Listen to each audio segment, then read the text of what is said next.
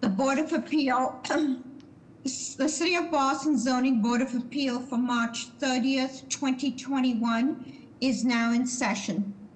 This hearing is being conducted in accordance with the applicable provisions of the open meeting law and the executive order of Governor Baker suspending certain provisions thereof due to the ongoing public health crisis. Um, this hearing of the board is being held remotely via the WebEx event platform. The hearing is also being live streamed. In order to ensure that the hearing of the board is open to the public, members of the public may access this hearing through telephone and video conferencing.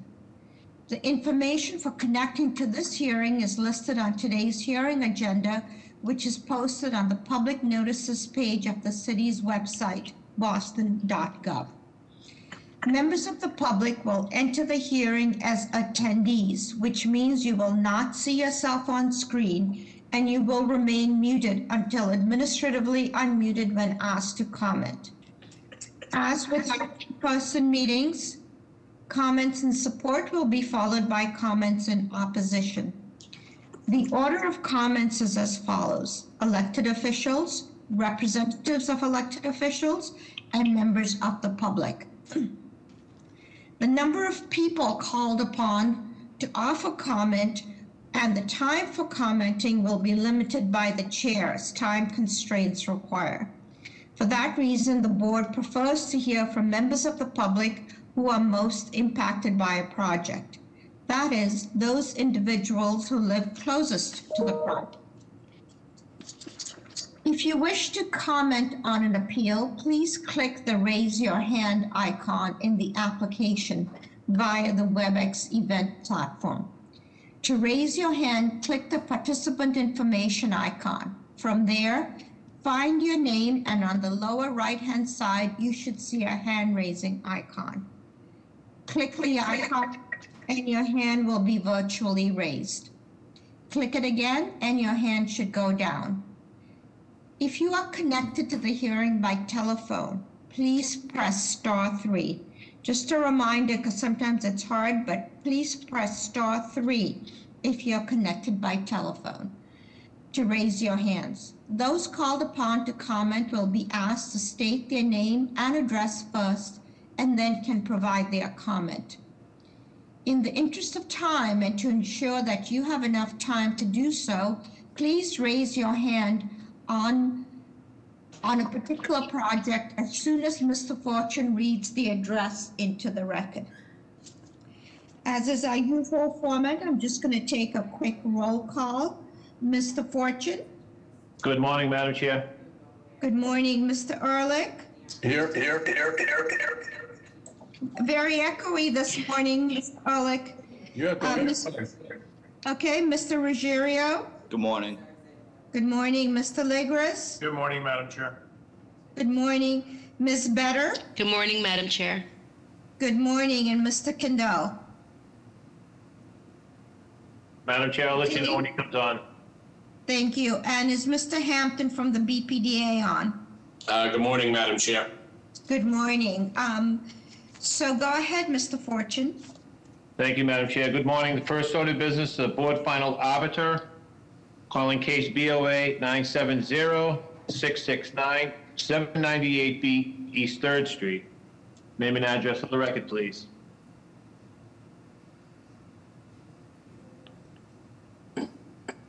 Um, Madam Chair, there are a few raised hands on the call center, I mean, on the call user side. Let me just see if anyone's here for that. Um, Is it Michael or Maureen Murray? Doesn't have a name. Oh, Mike Murray's here. Hold on. Okay. All right, Mike. Just made up a panelist. Um, Mike, you can unmute yourself. Hi, hi, Mike, can you hear us? Yeah, we can hear you. Okay, okay. Yeah, go name and address for the record, please. Seven, May, Michael and Maureen Murray, 798B East Third Street.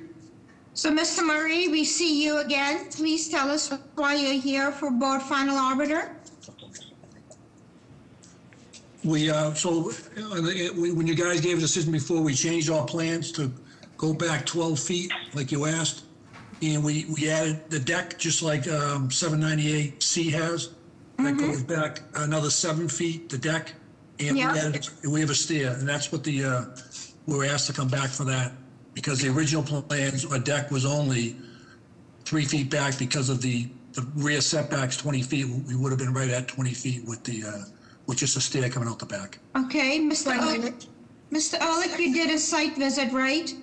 Yeah, uh, yeah, we did it. This is a pre-pandemic site visit, um, and uh, and what they did now was they matched the uh, the neighbor's uh, uh, project, which is what we suggested they do. May I have a motion, please? Motion to approve.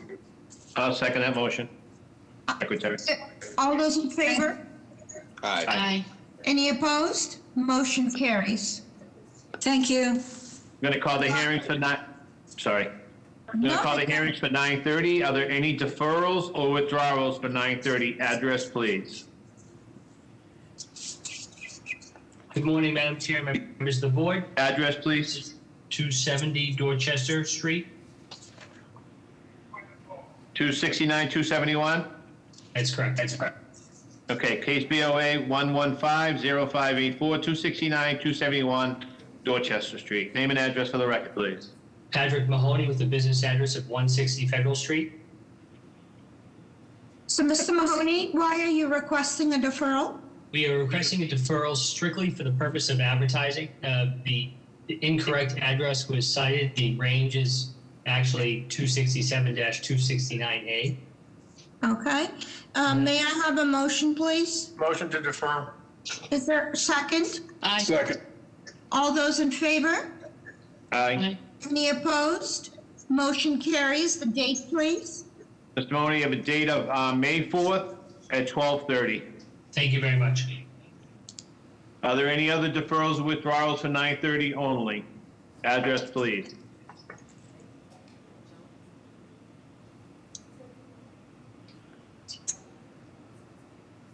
That was dated. All right, I'm going to call the first case, calling BOA 1164591, 323 Maverick Street. This is seeking to raise the existing structure and erect a three-family residential dwelling. The violations, Article 27T-5, this is in the East Boston IPOD. Article 53, Section 56, insufficient parking. Article 53, Section 9, insufficient additional lot area. Article 53, Section 9, excessive FAR. Article 53, Section 9, the maximum allowed height has been exceeded. Article 53, Section 9, the number of allowed stories has been exceeded. And Article 53, Section 9, insufficient side yard. Name and address for the record, please. Thank you, Madam Chair, members of the board. Uh, Attorney Jeff Drago with Drago and Toscano with a business address of 11 Beacon Street. Here on behalf of the applicants Chris Grossman and Seth Williams, we also have Jonathan Garland, who's the architect for the proposal. Uh, As was mentioned, the proposal is to raise the existing structure and erect a new four-story residential condominium building with three condominium units on site. The particular district is a 3F 2000, and our lot size is 2,438 square feet. The floor plans, and you can see in this uh, rendering, our building is on the left, the newer-looking building next to the tree. The floor plans are three units. All of the mechanicals would be contained in each unit. At the ground level, uh, there would be no basement on this building, so at ground level, uh, Unit 1 is a accessible unit. It's a 1,072 square foot, two-bedroom, two-bath unit. As we go up to the second level, that's Unit 2, and that has, that is an 1,144 square foot, two-bedroom, two-bath. It has a rear deck, a front porch, and egress stairs. As we go up to the third floor, uh, this would be our bi-level uh, duplex unit. Uh, Total square footage is 2,438 square feet. And on the third floor, that would have open floor plan living space with a den, a half bath, front porch, rear deck with egress stairs. And then the fourth floor would also house the three bed and two bath that go along with that unit. So that unit total would be three bedrooms, two and a half baths. Um, I can go over the zoning violations uh, for the, that were mentioned. Uh, So we would be required to have additional lot area. It would be an additional 1,000 square feet, and we have 438 square feet. Um, FAR allowable is 1.0. We're proposing two. Uh, Height for the area is three stories, 35 feet. We're proposing four stories at 39 feet. Uh, Front yard uh, would be required, would be five, it would be modal, we're at two and a half. Uh, Side yard, we meet it on the left side, which is three feet, and what's required is two and a half, but we have zero on the right side. And we are not creating parking spaces, three would be required. Um, so if your side yard is zero, are you attaching then to the next building, to the abutting building? No, Madam Chair, just the property line, there is a decent amount of space in, bet- well, some space in between the buildings, uh, property. And so how would you propose to do maintenance if you're at a zero lot line on that side? Um, so we would have to utilize, there is some space, so if you, you know, we would have to talk to our neighbor to get in there, but we do have the ability to do, and they supported the project as well, but. um, Yeah, the but, left but side- you know the relief goes with the proposal, um, and so neighbors might change. Um, okay, so, um, and there is no roof deck proposed on this. There is no roof deck, no. Okay, um, how are the plans, Ms. Better? The plans are adequate. Any questions from the board? Yeah, uh, Mr. Drago, so there's no basement. Is that because it's in a flood hazard district? That's correct, Mr. Erlich, and all of our living space will be above the base flood level. Okay, and I'm just, uh, not that it matters, I'm just curious, the existing structure that is being raised, did that have a basement? I, I believe it, I believe it did. And, uh, okay, so that was, from- that was obviously prior to the. That was prior. Yeah, okay, thank you. And was that a two or a three family, Mr. Drago? I believe it was a one, Madam Chair. It was a one family, It okay. is, yeah, it's not, ha- it's not, uh, it's uninhabited now. Yep, okay. Any other questions from the board? Is anybody here to speak in, Madam um, Chair, Madam Chair, yes. Secretary here, I just want to make sure you understand that Mr. Kindell is still not on. Mr. Okay. Kindell is still not on. yes, so, um, so basically, um, uh, Mr. Um, Counselor, you need, uh, five of the six votes, uh, in support of this proposal. Thank you, Madam Chair, I understand. Okay, so please, um, go ahead. Is anybody here to speak in support of this proposal? Good morning, Madam Chair and members of the board. Lina Tramelli with the Mayor's Office of Neighborhood Services. We would like to vote the record support for this proposal. During the community process, this proposal received strong support from Jeffries Point Neighborhood Association, and we also received 32 letters of support from abutters. Thank you. Good morning, Madam Chair, members of the board. Ricardo Patron from the Office of City Councilor Lydia Edwards. The councilor would also like to go on the record in support. Good morning, Madam Chair, members of the board. Karen Foley, Councilor Essaibi George's office. Would like to go on record in support of this project. Thank you. Madam Chair, I have three raised hands from callers. Madam Chair, Secretary here before the callers, we do have the 32 letters uh, that the mayor's office spoke of. Uh, Just want to make sure that's on the record. All right, caller 16, you've been unmuted. Um, Hi, can you hear us? Hi, is anyone here on the call here to, whose hand is raised here to speak? Support or opposition for this project? They may be all set. I, I unmuted everyone, but I haven't heard anything.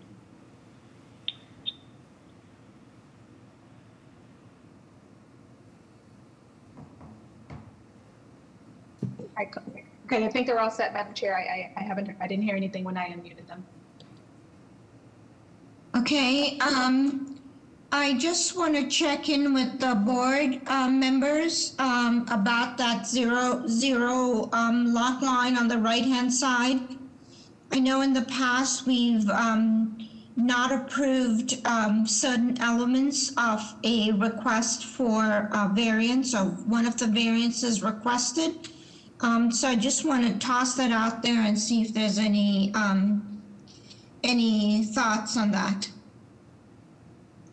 Um, If if we're at the point of making motions, I would make a motion to approve and uh, with design review that would include a review of the uh, lot line.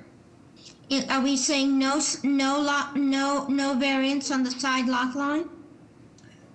What is, uh, Mr. Drago, what is required?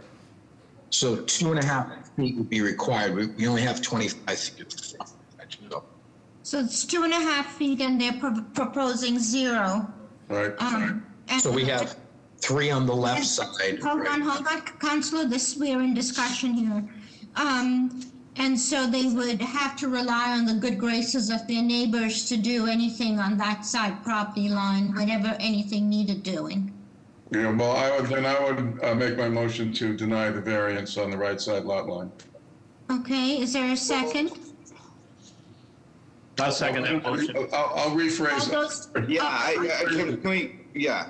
Yeah, so I would make a motion to approve with BPDA design review with a proviso that there be no variance on the right side lot line. I'll second that motion. All those in favor? Aye. Aye. Any opposed? Motion carries with that proviso. Good luck. Thank you. Madam Chair, Mr. Candela is now on. Thank you. Calling the next case, calling BOA 115-5218, 22 Wordsworth Street. This is a confirmed occupancy as a two-family, extend living space to the basement, renovate and erect a half-story addition with roof deck. The violation is Article 27T, this is in the East Boston IPOD. Article 53, Section 52, roof structure restriction. Article 53, Section 9, the floor to area ratio is excessive. Article 53, Section 9, front yard's insufficient, and Article 53, Section 9, side yard is insufficient. Name and address for the record, please.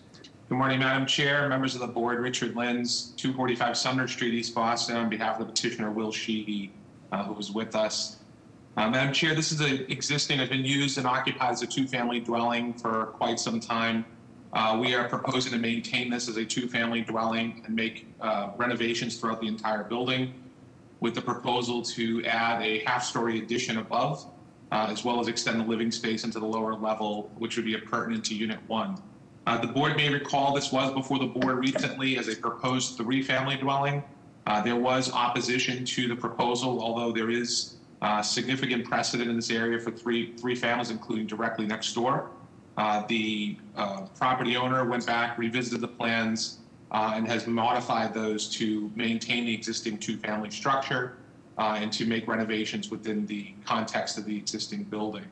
Uh, We probably can jump right to the elevations to show the changes. The existing building is there on the left, um, just to give the board some idea of what the neighborhood looks like. We probably can jump down a few more slides. While she's doing that, um, the unit sizes, uh, Unit 1 would be almost 1,100 square feet. It's proposed as a three-bedroom. Unit 2 would be about 1,300 square feet, also being proposed as a three-bedroom. As you can see here from the front and the rear elevation, uh, the addition that's being proposed uh, is consistent with uh, two and a half story dwellings uh, in and around that neighborhood. We do show the elevation for the basement level. Uh, There is a grade difference between Wordsworth Street and the back of the property. The clear ceiling height in the basement level is eight feet, six inches, as shown here in the elevation. Next slide. Uh, The modifications, again, we were originally proposing this to be, uh, when it was before the board last, uh, triple decker style building consistent with the design of the building immediately to its uh, right, uh, which you can see here in the drawing. Uh, We did go ahead and modify that based upon concerns from that direct abutter uh, and have eliminated the roof deck above the third level. So there's only a deck that comes off of the, uh, off of the the half story, but above the second level. Next slide. Counsel, counsel, Counselor, can you speak to the basement portion of the proposal? Sure. If we can go back a couple of slides, there is a floor plan layout that shows the basement, but I was showing that elevation there that indicated the uh, height and the grade change. I think it's one more slide back. Yeah, so basement level is here. Zoom in. So we do show um, the finished area. Uh, Just trying to see it here on my screen as well.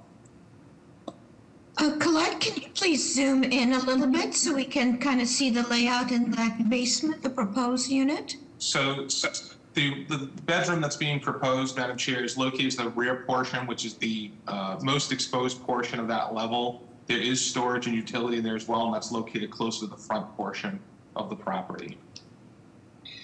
Okay.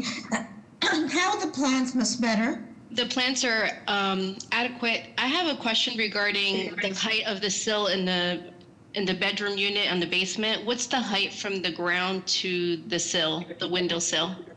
Um, Through the chair, my, my understanding it's building code compliant, um, but I can confirm that. We're not looking for any relief on that. So the, we, we do have sufficient room. If you go to the side elevation showing the, um, showing the exposure of the rear portion of the foundation, there's sufficient room to comply. I believe it's, is it 40 or 42 inches? 44 is cool. 40, 40, 40. Next, next slide down shows the side elevation. Yeah, it appears from the elevation that we saw before that the rear part is almost virtually at grade, almost completely at grade. Yeah, So sufficient room to comply with the requirements. Any other questions from the board? Is anybody here to speak in support of this proposal? Good morning, Madam Chair and members of the board. Lina Tramelli with the Mayor's Office of Neighborhood Services. We would like to go on the record in support for this proposal. Uh, during the committee process, the Office of Neighborhood Services held three abutters meetings for this project where the applicant addressed several of the concerns of the community and modified the proposal based on their feedback. Thank you. Good morning, Madam Chair, members of the board. Ricardo Patron from the Office of City Councilor Lydia Edwards. The council would like to leave this proposal at the discretion of the board.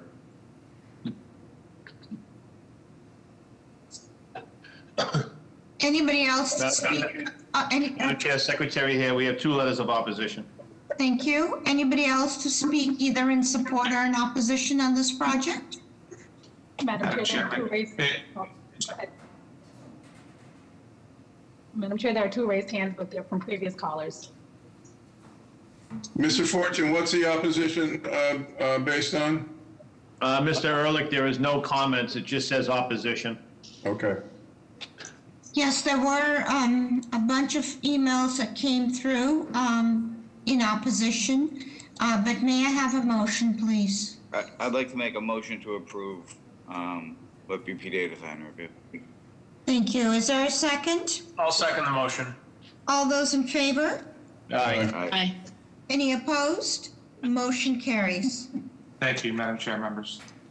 Calling the next case, calling BOA 115-8518, 18 to 20 Meridian Street. This is to change the legal occupancy to include a cafe, coffee shop, restaurant with takeout.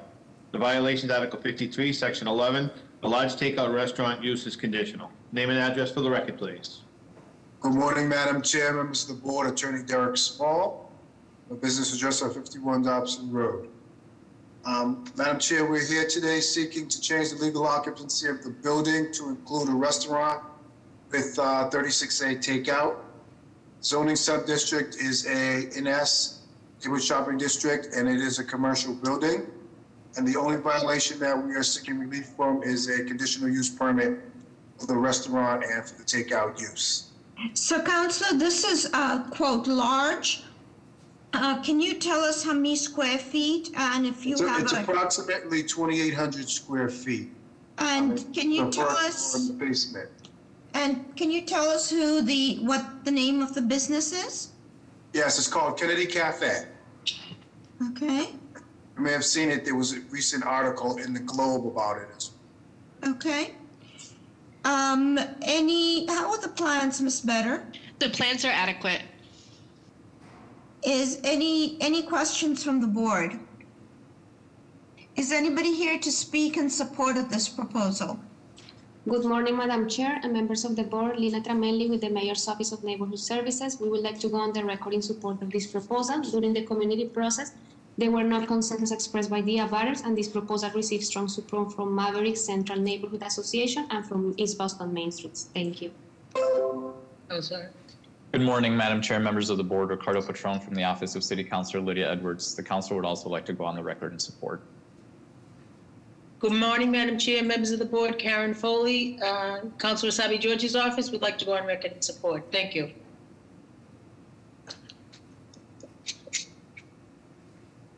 Madam Chair, I have no additional raised hands. Uh, May I have a motion, please? I'd like to make a motion to approve. Second, Joe. Uh, Can I, can we, To this applicant only? Uh, yeah. uh, with this applicant, um, the usual takeout language, um, and Counselor, is, Yes. are there grades on this or new signage proposed? New signage proposed, but no grades. Okay, do we need external design review? Yes, we should do BPDA design review for exterior signage. Okay, so uh, the pro- provisos are approval with design review to this applicant only and the usual takeout language. Is there a second? Second. All those in favor? Aye. Any opposed? Motion carries. Thank you very much. Have a good day. Good luck. Calling the next case, calling BOA 1130747, 1230 to 1264 Washington Street. This is in need of change of use from a barber shop to one personal training studio, fitness studio. The violations, Article 64, Section 18, a fitness studio is forbidden use. Name and address for the record, please. Uh, Christopher Kransky, 1230 to 1264 Washington Street. So please tell us what you're proposing to do. Uh, Thank you, Madam Chair and members of the board. Uh, Me, Chris Kransky, and Steven Stewart are part of 1230, 1264 Washington Street Appeal. We're looking for a change of use variance to change from barbershop to fitness center.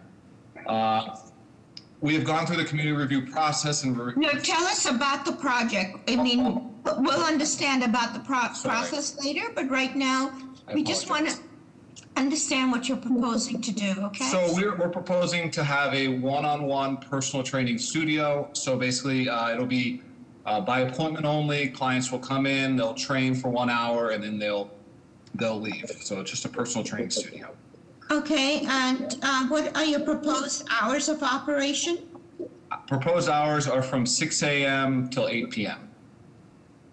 Um, And um, let's see, and that includes weekends too, or do the, Uh, for for weekends, it'll be uh, 8 to 3 p.m. 8 a.m. to 3 p.m. okay? Um, It'll it'll be by appointment only. So uh, it'll be just based off when clients um, want to come in for a training session. Okay, so this wouldn't include like Zumba or any loud No, music, in no, other no. words, to affect the abutters? No group exercise classes. Uh, it'll just be one-on-one personal training. So with uh, one client with one trainer at a time. Okay.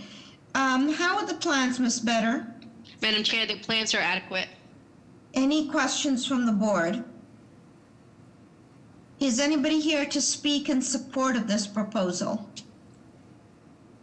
Hi, yes. Um, good morning, Madam Chair and members of the board. My name is Kim Crucioli from the Mayor's Office of Neighborhood Services. Um, the Mayor's Office would like to go on record in support of this proposal. There was an abutters meeting held on January 28th where support was shown by the abutters, and the applicant also received a letter of support from the East Berkeley Neighborhood Association. Thank you.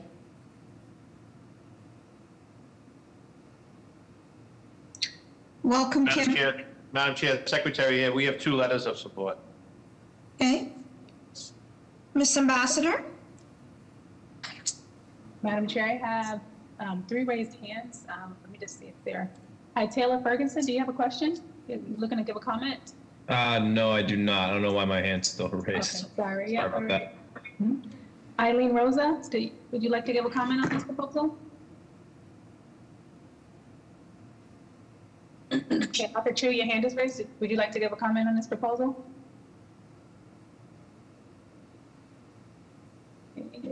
We are all set, Madam Chair, for the raised hands. Okay, may I have a motion, please? Motion I'll make a to motion to approve.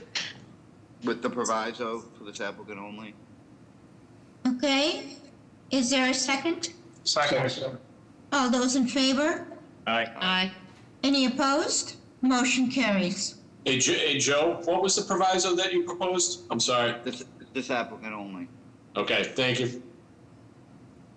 Calling the next case, calling BOA 116-1589, 55 to 59 Causeway Street. This is to erect a rooftop digital outdoor advertising device on the roof of an existing two-story commercial structure. The digital sign would be 25 feet in width and 15 feet in height. The total height of sign will be from 46 feet to nine and a half feet above the grade of Causeway Street. The violations, Article 11, Section 7, electronic signs. Article 11, Section 2, uh, premises signs in non-residential districts. Article 11, Section 6, signs subject to other regulations, billboards. Name and address for the record, please. Morning, Madam Chair, members of the board. Richard Lynds on behalf of Media Vision Incorporated. Uh, With me is John- Jonathan Dominic Sarah from Media Vision. Also with me is uh, Bob Messier, who's our uh, digital outdoor advertising consultant. Uh, Madam Chair, this is a proposal to erect an outdoor advertising device, digital format, located at the corner of uh, Lancaster and Causeway Street. This is located in the Bulfinch Triangle. Uh, Excuse me, Colette, can you zoom in a little bit? Thank you. Go ahead, uh, Counselor. Thank you, Madam Chair. Um, As you can see here, at the corner of uh, Causeway and Lancaster, we do have some um, context photos from the street as well. Um, Located directly across from the uh, O'Neill Federal Building and uh, down the street from uh, the TD Garden. Go to the next slide, please.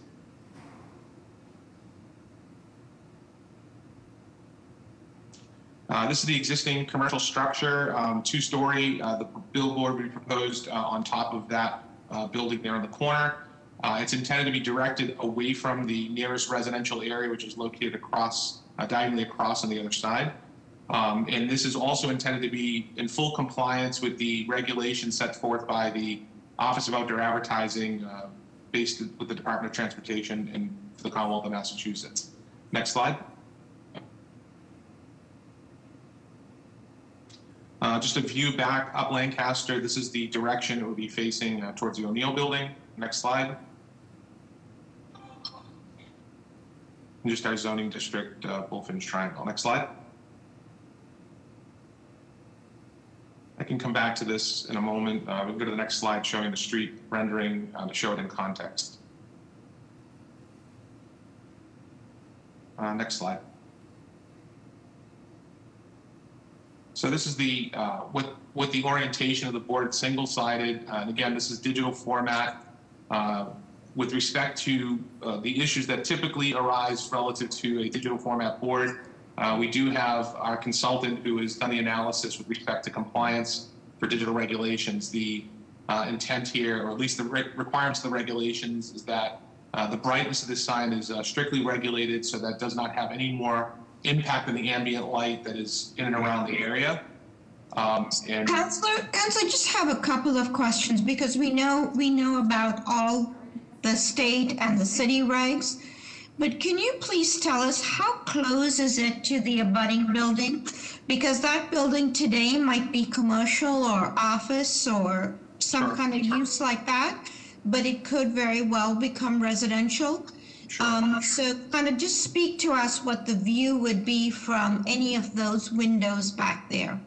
So part of the design of this uh, structure, Madam Chair, uh, includes louvers which would prevent any of the light that is emanated from the board from affecting any of those uh, windows or any of those um, um, uh, uh, levels that are located in that building directly behind it. If we go back to the site plan, we can show the specific distance between the board uh, and that structure uh, right there. So we are proposing to locate this closest to the corner of the building at Lancaster and Causeway. There is uh, about, looks about 50 to 40 to 50 feet between the nearest edge of the sign and the building. And as I indicated, uh, the design of this uh, structure would include uh, shielding louvers, which would prevent any of the light uh, from being um, cast toward, back towards that building. So everything, everything is facing up Causeway towards the O'Neill Building. And again, uh, the intention is to be in full compliance with the state regulations. We would not be able to uh, propose this structure if we could not comply with the outdoor advertising regulations for digital advertising. And there's no point at all within a 24-hour period that that uh, billboard is completely off. Um, That is correct. However, um, there, there is some adjustments to, um, to the intensity of the light, uh, both day and night. Um, And I can have Mr. Messier, if the board. uh, No, I just, I mean, what, what I'm thinking is that, you know, the, the positive element of this is that it's essentially a commercial district, offices, you know, um, things like that. So there is, you know, very little traffic, I assume, in the, at two in the morning, well, maybe three in the morning after the bars close or whatever it is. And so that's why I was wondering if there was any off time proposed on this billboard. Now, no, and again, consistent with state regulations, uh, the timing of the board um, ha- has to be has to be in compliance with whatever the regulations um, state. Uh, there's certain, obviously, certain intervals for which the sign can change, uh, and then there's also um, certain amounts of time that this is dedicated to PSA. Uh, I will point out that Media Vision has uh, agreed to go over and above the requirement of the regulations to offer this to local nonprofits uh, that are in and around uh, the West End area. And I know that we do have a few of them uh, that are speaking favorably on this based upon the commitments that Media Vision has made uh, to those organizations. Okay, uh, and how, how are the plans, Ms. Better? The plans are adequate. Any questions from the board? Yeah, Mr. Lynds, um, do you have a rendering of what the backside of the board looks like so we'll know what people in the uh, budding building will be looking at? I, I don't have the rendering, Mr. Erlich. Uh, we didn't show it from that, that angle. However, um, there is uh, adequate shielding that can be incorporated, uh, almost like a black mesh that can be put across the back of it so you're not necessarily looking at the superstructure itself.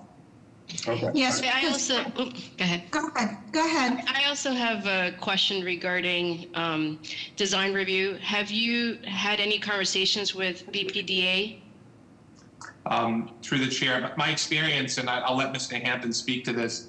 Uh, my experience is the BPDA doesn't necessarily design or review uh, outdoor advertising devices. There's not much we can do by way of the structure itself, but happy to uh, submit to that with respect to any design questions that come up relative my- to review from behind. My understanding is that electric, electronic signs are not permitted in a city other than by a conditional use granted by the zoning board. Um, And I, I'm, I know that I'm familiar with ele- electric signs being used in the theater district or the Seaport district or Lansdowne.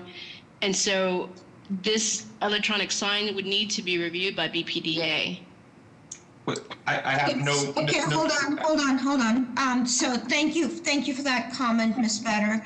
Um, Yeah, I, I had, I had one more, I had one more question. Um, so, uh, Mr. Lynds, you say your argument about the, the minimal impact is that it won't, it won't be facing, it won't be able to be viewed by any residential, uh, unit anywhere? No, th- there are there are residential units, Mr. Erlich, uh, that are further up Causeway Street. However, they are they are outside of the minimum distance um, based upon the regulations for for which this may have impact. And again, I do have Bob Mess- Messier here from Daktronics who can speak to the uh, I guess the relative intensity of the sign and then its proximity to residential areas. And we've done all of the measurements and calculations to ensure that the uh, impact is fractional uh, of what the actual regulations permit. Uh, so we feel that the impact is, uh, is, is non-existent to the, to the residential areas further up Causeway Street. Okay. And I do, I do have an analysis of that, as- I'm sorry, I do have an analysis of that in the, in the presentation if we wanted to go to that. any other questions from the board? Is anybody here to speak either in, in support or in opposition of this proposal? Madam members of the board, this is John Romano from the Mayor's Office of Neighborhood Services. Um, This, or, uh, this proposal has gone through an extensive neighborhood process. Um, The project has received support from different uh, associations in the area, such as the West End Church um, and some abutters as well, as well as this project has received opposition letters from the West End Civic Association, the Downtown North Association. Um, while we don't, while the- our office doesn't believe that this is a bad location for a board to, a billboard to be put up, um, due to the proximity of residents and other, uh, other existing structures, we do believe, um, we do, uh, due to this, we would like to defer to the board for their judgment on this matter. Madam of the Chair, members of the board, Ana Calderon from Councilor Flynn's office. The councilor would like to go on record in opposition as Councilor Flynn and Councilor Bok filed a joint opposition letter with the board due to overwhelming feedback from neighbors and civic organizations, including the West End Civic Association, Downtown North Association, Alliance for Downtown Civic Organizations, Bay Village Neighborhood Association.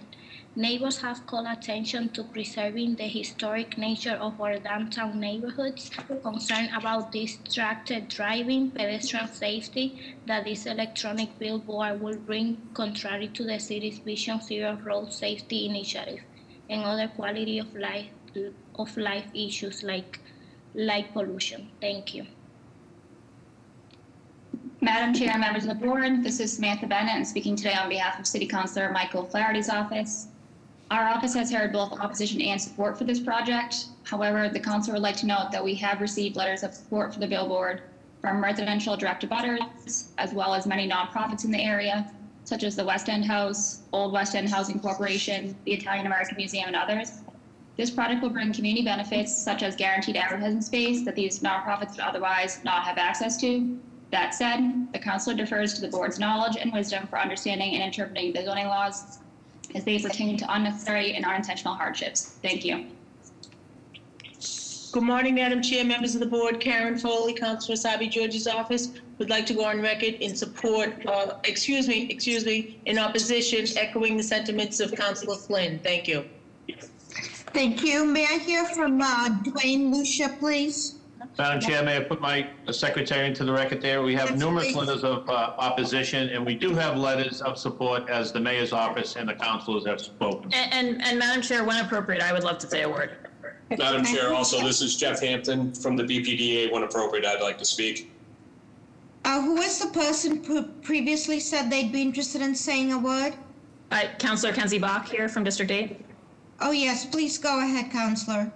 Thank you so much. Um, I wanted to appear today strongly in opposition to this. Um, uh, to Hansi's point, I think as many members of the board know, um, there are three places in the city where you can have electronic billboards as a conditional use, and that's the process which generates um, BPDA licensure and kind of a back and forth process what it will look like. This is outside of that. It's a forbidden use here, and the board's being asked to give a hardship. Um, and I want to just express strongly on my own behalf and on behalf of ADCO and many downtown neighborhood associations that we really feel it's incredibly important for the board not to um, sort of set a precedent of granting hardships for electronic billboards when the only hardship we can see is the opportunity um, to to not make economic. Um, I'm very concerned. This is a major intersection. It's a major kind of vision zero traffic problem for me. It's really unsafe for pedestrians, and so adding an electronic billboard to the mix here um, is undesirable. Also, to the chairwoman's point, this is really a neighborhood that's rapidly changing into a residential neighborhood. Um, I've got thousands of new constituents here, um, and and I think that again we worry a lot about the proliferation of this use.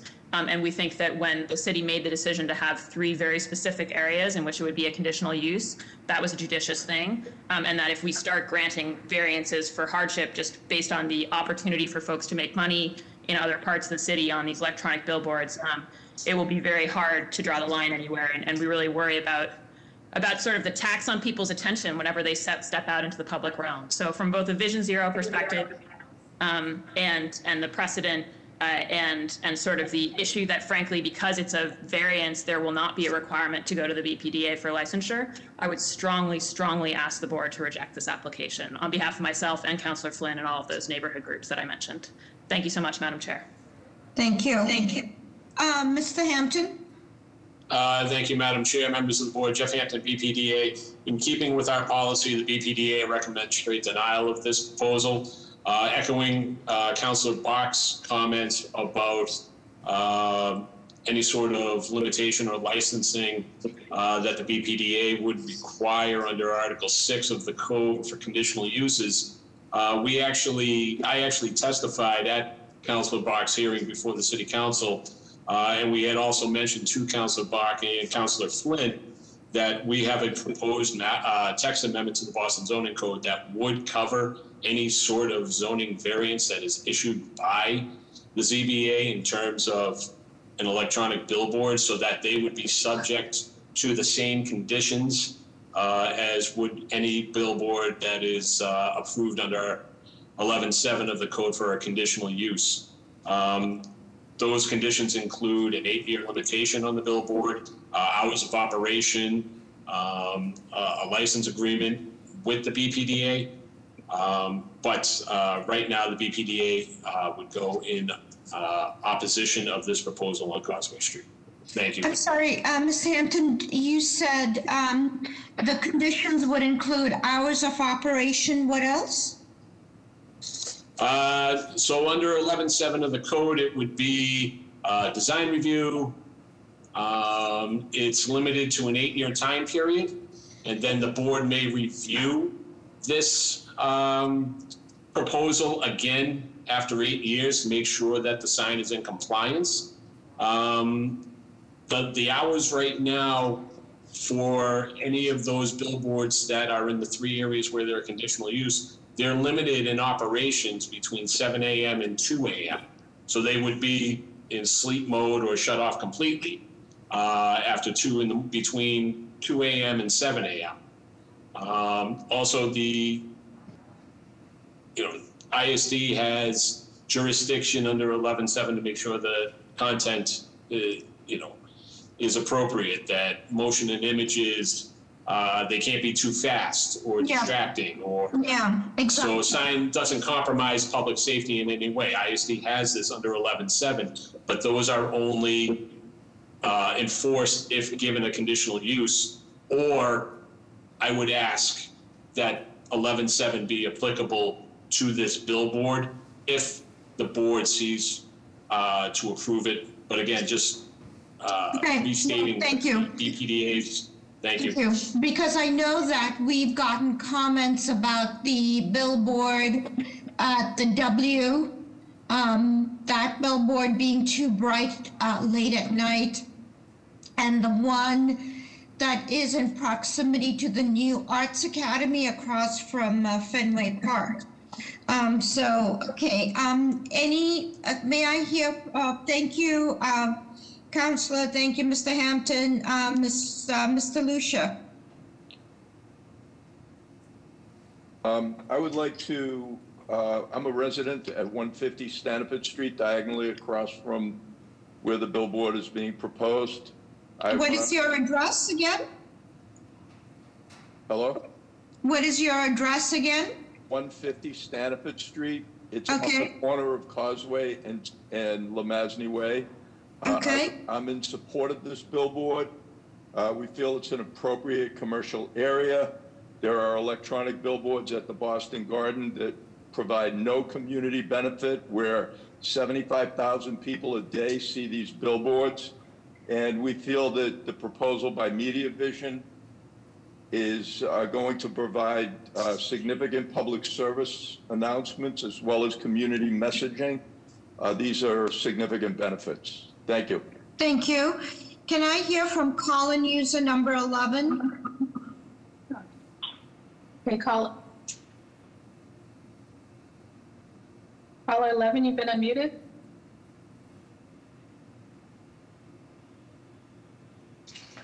All right. Okay, caller 617803, would you like to leave a comment? This person has had their hand raised since the beginning. I'm not sure. Okay, how about Miss Thomas, uh, Louise Thomas? Yep. Okay, Louise, you've been unmuted? Yes, thank you, Madam, Madam Secretary. Um, Can you state your name and address, please? Louise Thomas, 65 Martha Road. I'm also twice past president of the West End Civic Association. There is one thing that hasn't been addressed. I don't know if you realize that this is a historical neighborhood. And in 2004, the RF, there was an RFP for the new parcels that were freed up by the demolition of the elevated highway. And in that, and these, the RFP was supposed to model the historic part, which is where this billboard goes. And specifically, it says, states that no rooftop signs or billboards would be allowed on the new parcels. Therefore, I don't believe that this is anywhere near appropriate to allow a digital billboard at this Causeway Street location, which is Thank the you. historic part of the billboard. Thank you. Uh, May I hear from Miss C?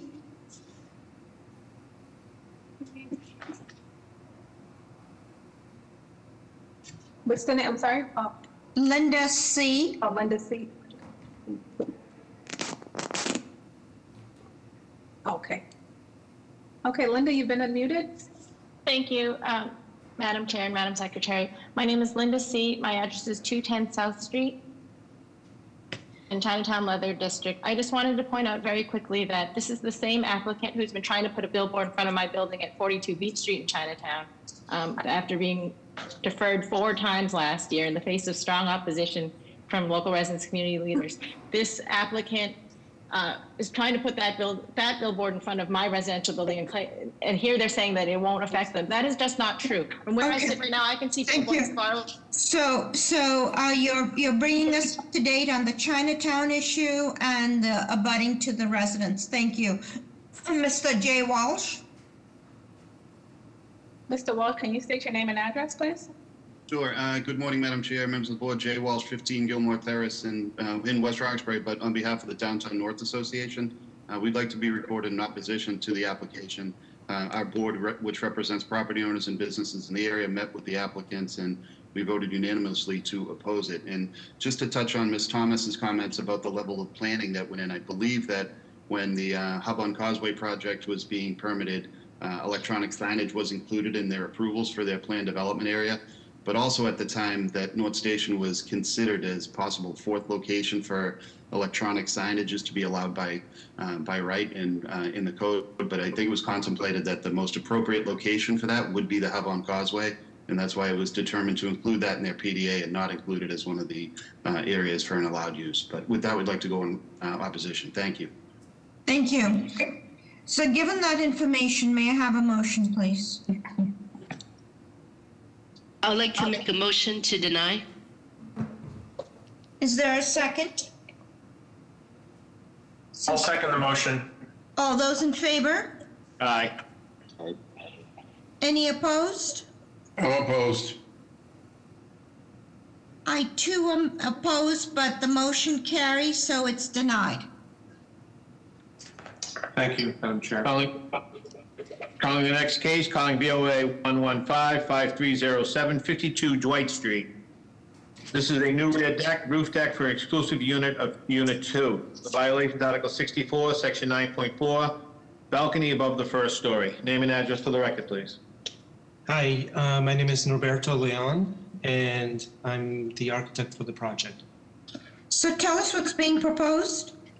We're proposing to um, build a uh, deck on the second floor of the uh, building. It's uh, facing the attic, I mean the um, the alleyway, and the uh, deck is uh, six feet by 19 foot six. And is it bracket supported? It is. It is bracket supported. And tell us about the roof deck? Uh, the roof deck has been uh, granted uh, approval by landmarks. Yes, but you still need approval for us. So tell us about the uh, dimensions about the roof deck? Oh, so the roof deck is, um, sorry. Uh, if you could go to the next page, please.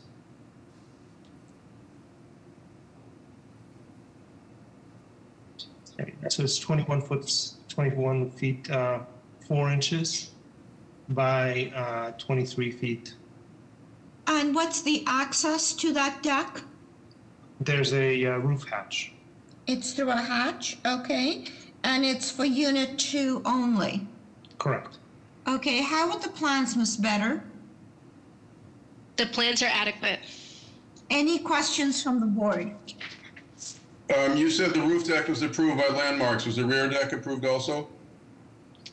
The, uh, yes, the, uh, the rear deck is also approved. Um, is, uh, any questions from the board? Is anybody here to speak in, um, support of this proposal? Hi, yes. Um, good morning, Madam Chair, members of the board. My name is Kim Crucioli from the Mayor's Office of Neighborhood Services. The Mayor's Office would like to go on record in support of this proposal. An abutters meeting was held on February 11th where no opposition was shown by abutters and they received a letter of support from the abutters. Thank you. Madam of the Chair, members of the board, Ana Calderon from Councilor Flynn's office. The councilor would like to go on record in support due to no, no issues being reported from neighbors and the A Street Neighborhood Association. Thank you. Good morning, Madam Chair, members of the board. Karen Foley, Councilor Essaibi George's office, would like to go on record in support. Thank you. Thank you. Uh, Mr. Hampton, uh, BPDA is recommending design review. Yes, Madam Chair, we recommend design review only on the rear decks, but if the applicant has stated that Landmarks has already approved the rear decks, we don't need to see it as well. We don't need to duplicate it. Um, uh, so applicant, uh, Mr. Mr. Um, um, Norberto, can you please really clarify that in fact it has been seen by, uh, by landmarks? Yes, it has been. Okay. Um, any other comments? Anybody else to speak in support or in opposition? May I Okay. have a- Go ahead. May I have a motion, please? I'd like to Motion. make a mo, I'd like to make a motion for approve, approval with a proviso for BPDA to review the, the roof deck and to pay specifically attention to this side setback because it's, it's built out right to the edge and looking at the Google images, a lot of the roof deck are set, have setbacks in, Okay. side yard setbacks. Is there a sorry, yeah. second? Is there a second? Second. All those in favor? Aye. Aye. Any opposed? Motion carries. Calling the next case, calling BOA 115-3731, 143 to 145 Warren Avenue. This is a new rear deck, roof deck for exclusive unit number four. The violation, is Article 64, Section 9, townhouse, row house extensions into the rear yard. Name and address for the record, please. Hi, my name is Norberto Leon, and I'm the architect for the project. So, Mr. Leon, give us the information on this one, too. So we are also proposing a uh, rear deck uh, on the second floor and a roof deck. The uh, rear deck is uh, 31 foot 5 by 6 feet. And um, oh, those are the wrong drawings. And how about the roof deck? Um, sorry, let me get the the uh, the uh, right drawings here for uh, the roof deck. Yeah, I, The in reviewing these, in reviewing these the roof deck drawings, the roof deck was missing. Um, yeah, I don't understand how that could happen, but um, the roof deck. I can show you my screen. I can share my screen with you. No, we, please. we cannot, we cannot do screen share, so if you could just give us the dimensions. Sure. The dimension Um, is uh, 20. uh, I'm sorry, 24 foot 10 inches, and it's by 35 foot 6 inches. And we do comply with the setbacks for for landmarks, and landmarks has reviewed this. The same thing for 52 Dwight Street. Okay, so uh, just hold on. And how is this roof deck accessed? Uh, it's accessed by a roof hatch. It's, okay, and it's only for, it's for exclusive use of unit four, Correct. okay? Um, Um, I'm sorry, Madam uh, Chairman. Just going back to 52 Dwight Street because we have had. No, no, no, no, we're done, we're done with 52 Dwight. I just want to make sure that everything stays clear, that we're hearing information for your applicant at 143, 145 Warren Ave, okay? Um, um, Ms., uh, Ms. Better, how are the plans? Because I know you're missing the roof, roof top. Um, but tell us about what you're seeing, what The rest of plans are, the plans are adequate. I just have a question. In order to get access to the roof deck, is it from the central stair that I see on the third floor? Yes, that's Okay. correct. Okay. Any other questions from the board? Is anybody here to speak in support of this proposal? Uh, yes, um, good morning, Madam Chair and members of the board. My name is Kim Crucioli from the Mayor's Office of Neighborhood Services. The Mayor's Office would like to go on record in support of this proposal, and a butters meeting was held on February 11th where no opposition was shown by butters. Thank you. Madam the Chair, members of the board, Ana Calderon from Councilor Flynn's office. The councilor would like to go on record in support due to no issues being reported by neighbors and the Ellis Neighborhood Association. Thank you. Good morning, Madam Chair, members of the board, Karen Foley, Councilor Essaibi George's office would like to go on record in support. Thank you.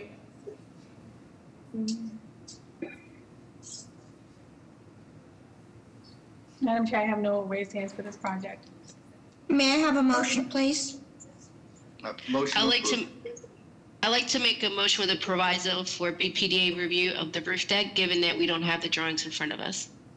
May I have a second? Second. All those in favor? Aye. Aye. Any opposed? Motion carries. Ms. Feder, would you ju- just want us to do the same thing that we would be doing on Dwight? You know, we have free range on setbacks from roof line and everything like Yes. that? Okay, great. Thank you. Calling the next case, uh, calling BOA 115-6954, 29 M Street. This is to install a new roof deck and spiral stair access from the existing rear porch. The violation is Article 68, Section 29, roof structure restrictions. The roof structure restricted district access to the deck must be through a roof half, roof hatch only. Name and address for the record, please.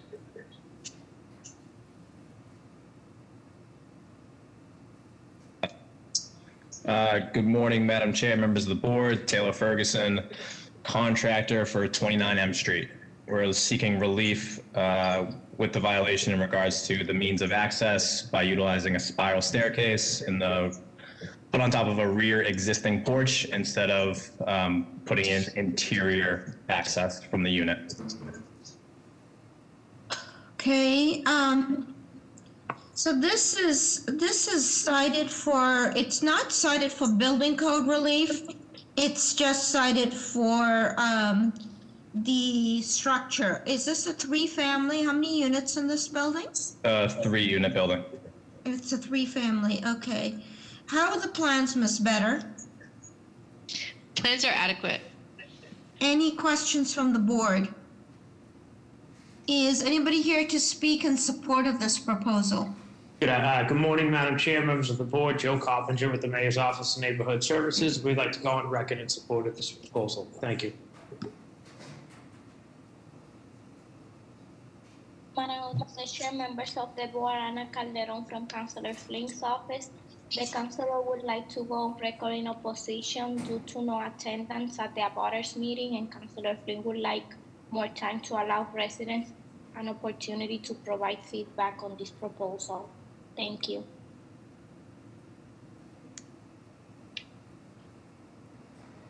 Madam Chair, I have no additional raised hands for this proposal. So this is for a, uh, a roof deck. Uh, May I have a motion, please? Uh, Motion to approve with BPDA. Do we need design review on this? I don't think so. Yeah, motion to approve. Is there a second? All those in favor? Aye. Aye. Any opposed? Motion carries.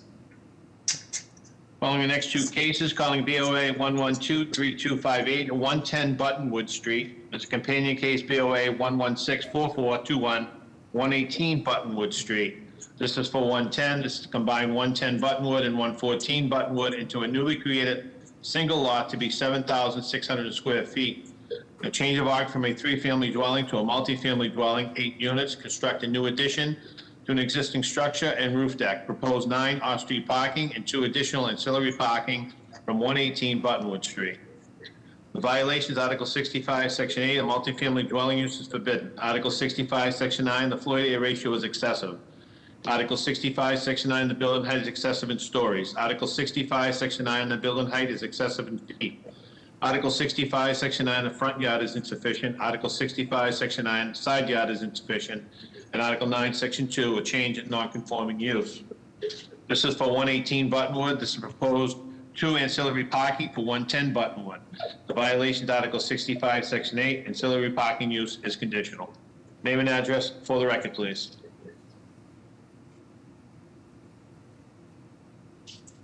Peter is on. I just made him a panelist. Um, Peter, you should be all set. Can you hear us? Hi, Peter?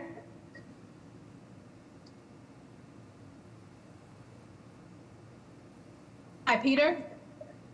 You've been unmuted.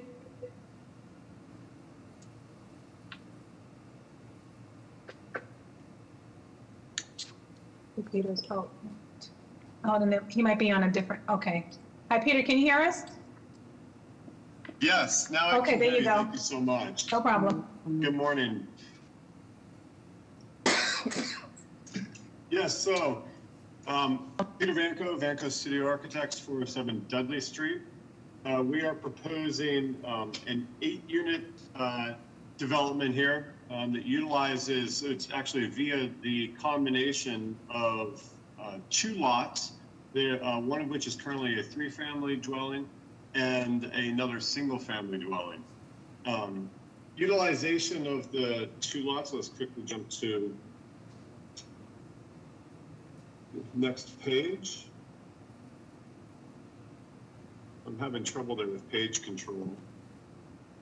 Colette, can you please move to the next page? Uh, yes, are we, um, Mr. Vanko, you need to speak to Colette because she has, um, she has, um, she has control of it, okay?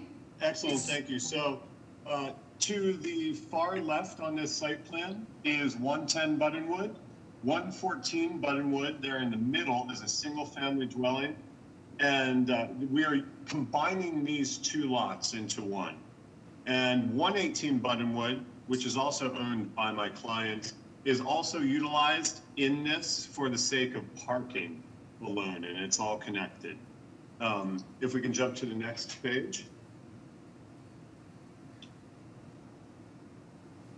So through this combination, we are actually proposing, uh, for our eight units, we have 1.25 parking spaces required per dwelling unit, which we cannot satisfy.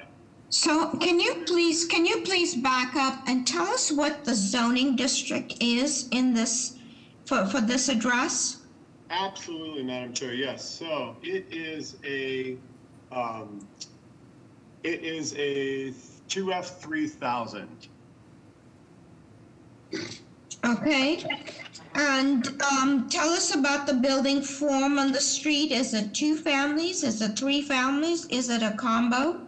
Many three families and many, um, there's not many, but there are several six families. Coletta, if we actually go to the next page down after this, this is a good uh, diagram. It just shows leftmost diagram. The uh, white building in the middle is ours. The black lines and the outlines are basically, we're intending to mirror that structure. To the far left in that image is an existing uh, larger multifamily building. There are many projects in this district that would qualify as being MFRs. Okay, so 118 now, Buttonwood is a three-family. Okay, so please now tell us about the unit breakdown. And then more importantly, tell us about 118 Buttonwood and what the parking requirements are for the existing three-family um, and how you're going to accommodate the proposed parking for 110. Absolutely, Madam Chair. I'm Colette, if we can go to the next slide. So we have eight units. They are all the same. They are two bedroom, one bath units. Uh, maybe actually next slide after that. This shows the massing setting into the neighborhood.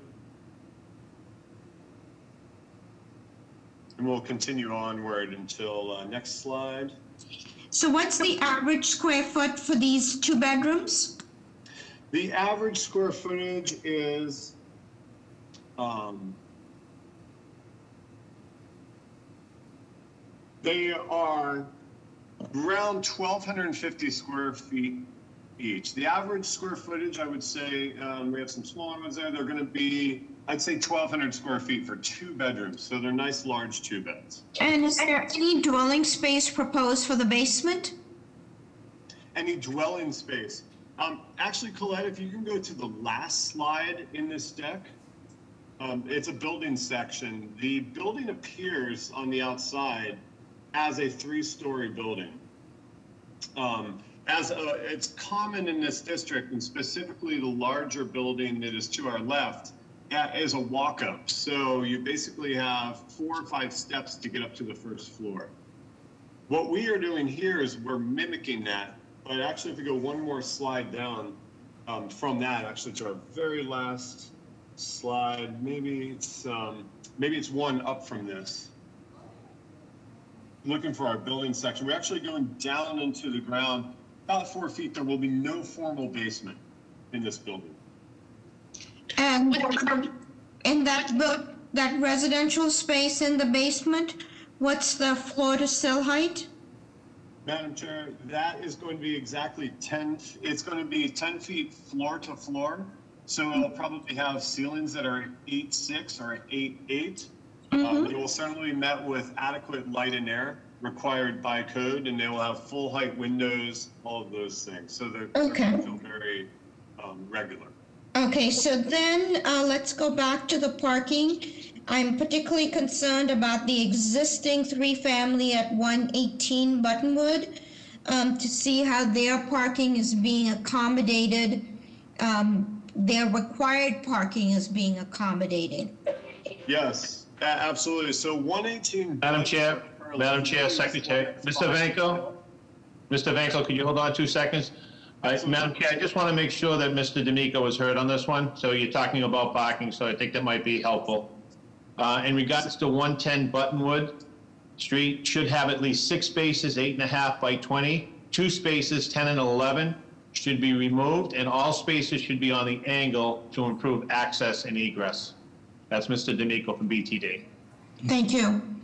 Thank you. Um, so please, Mr. Vanko, go ahead and tell us about 118 Buttonwood. Tell us about So their, 118 their parking requirements. Yes, 118 Buttonwood currently is without, without parking, the- a formal parking in the rear of the building. There's no formalized um, parking associated with that building. There's, um, it's paved, but there's no striping. There's really not um, anything that's formal. So working closely with the neighborhood, and you will see a support letter, of course, um, from the Civic Association. They liked how we were laying out our parking and that we were really working with all these buildings to work together. And that, because they're actually, they're co-owned, 106, 108, um, 110, and 118 is all co-owned by, by my client. And then the way that we're doing trash management, snow management, everything there in the back. Yes, so please tell us about the parking. Yeah, so basically, uh, 118 has no parking associated with it currently. Okay. And tell us about that roof deck. How's it accessed? Yes, so the roof is accessed via enclosed uh, stairs and a head house. And who has access to that deck? That is a common roof deck. Okay. And you've probably heard how we're not too keen on head houses. Absolutely. I think that if we go to the first slide on this, uh, on this deck, that I would hope that the board would recognize that we are hiding our head house extremely, in a, in a creative way, extremely well. You actually have no perception of it from the street as a pedestrian. Okay, uh, how about the plans, Miss Better? Better? The plans are adequate? Any questions from the board? I, I have a question. Uh, for the, your basement units, you do have light wells, correct? Is that what I'm seeing in the front and the rear? You do have light wells. That is correct. The front and rear do incorporate light wells. Okay. What is, what is the, uh, the floor to, uh, to grade there? I know you talked about the walk-up part, so what does that make the floor, floor to grade?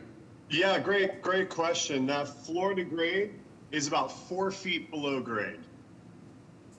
Okay, and on, and even though you have uh, said you're nicely hiding the head house, um, what, what, what's the problem with using a hatch instead? Um, the the when the mode of um, and the controls that we talked about with the neighborhood, and the ways that we were going to try to control sound, the ways that we were going to try to make it as safe as possible. Um, it always led us back toward a head house and formal stairs, and I just think that the common access out of a hatch may may may insert some issues. I'm not quite clear what that means, but, okay. Well, Ease, ease of access, um, it, you know, say like for a family who may be living here, children possibly might not be able to utilize the head house latches. It's easier to just go up a stair and go out of a door. Well, you know, it's unlikely with two bedrooms that you're going to have very many families there. Might, yeah. Yeah. Yeah. It's possible. Yep, okay, um, let's see, um, I, you know, I'd like to hear from you, uh, Ms. Better and, uh, Mr. Erlich on that basement space. I mean, current, currently, if you're in the basement, in the bedroom unit, you have to go out of an egress well to get out. Yeah. Okay. And it's, it's an entire unit in the basement, it's not a bi-level? That is correct. Okay, okay. Any other questions from the board? Is anybody here to speak? Madam Chair, Secretary here. To Mr. Yes. Erlich's point, I just did a Google Earth uh, map, and uh, there are no, there are no head houses. There are a couple of hatches that I do see in some of the existing homes, so it would- it would probably be the first couple of head houses if it is approved. Okay. And then in terms of the context, the building next to it does have um, six units, not eight as being proposed, but there, you do have six units next to the property. Mm-hmm, okay. Is anybody here to speak in support of this proposal?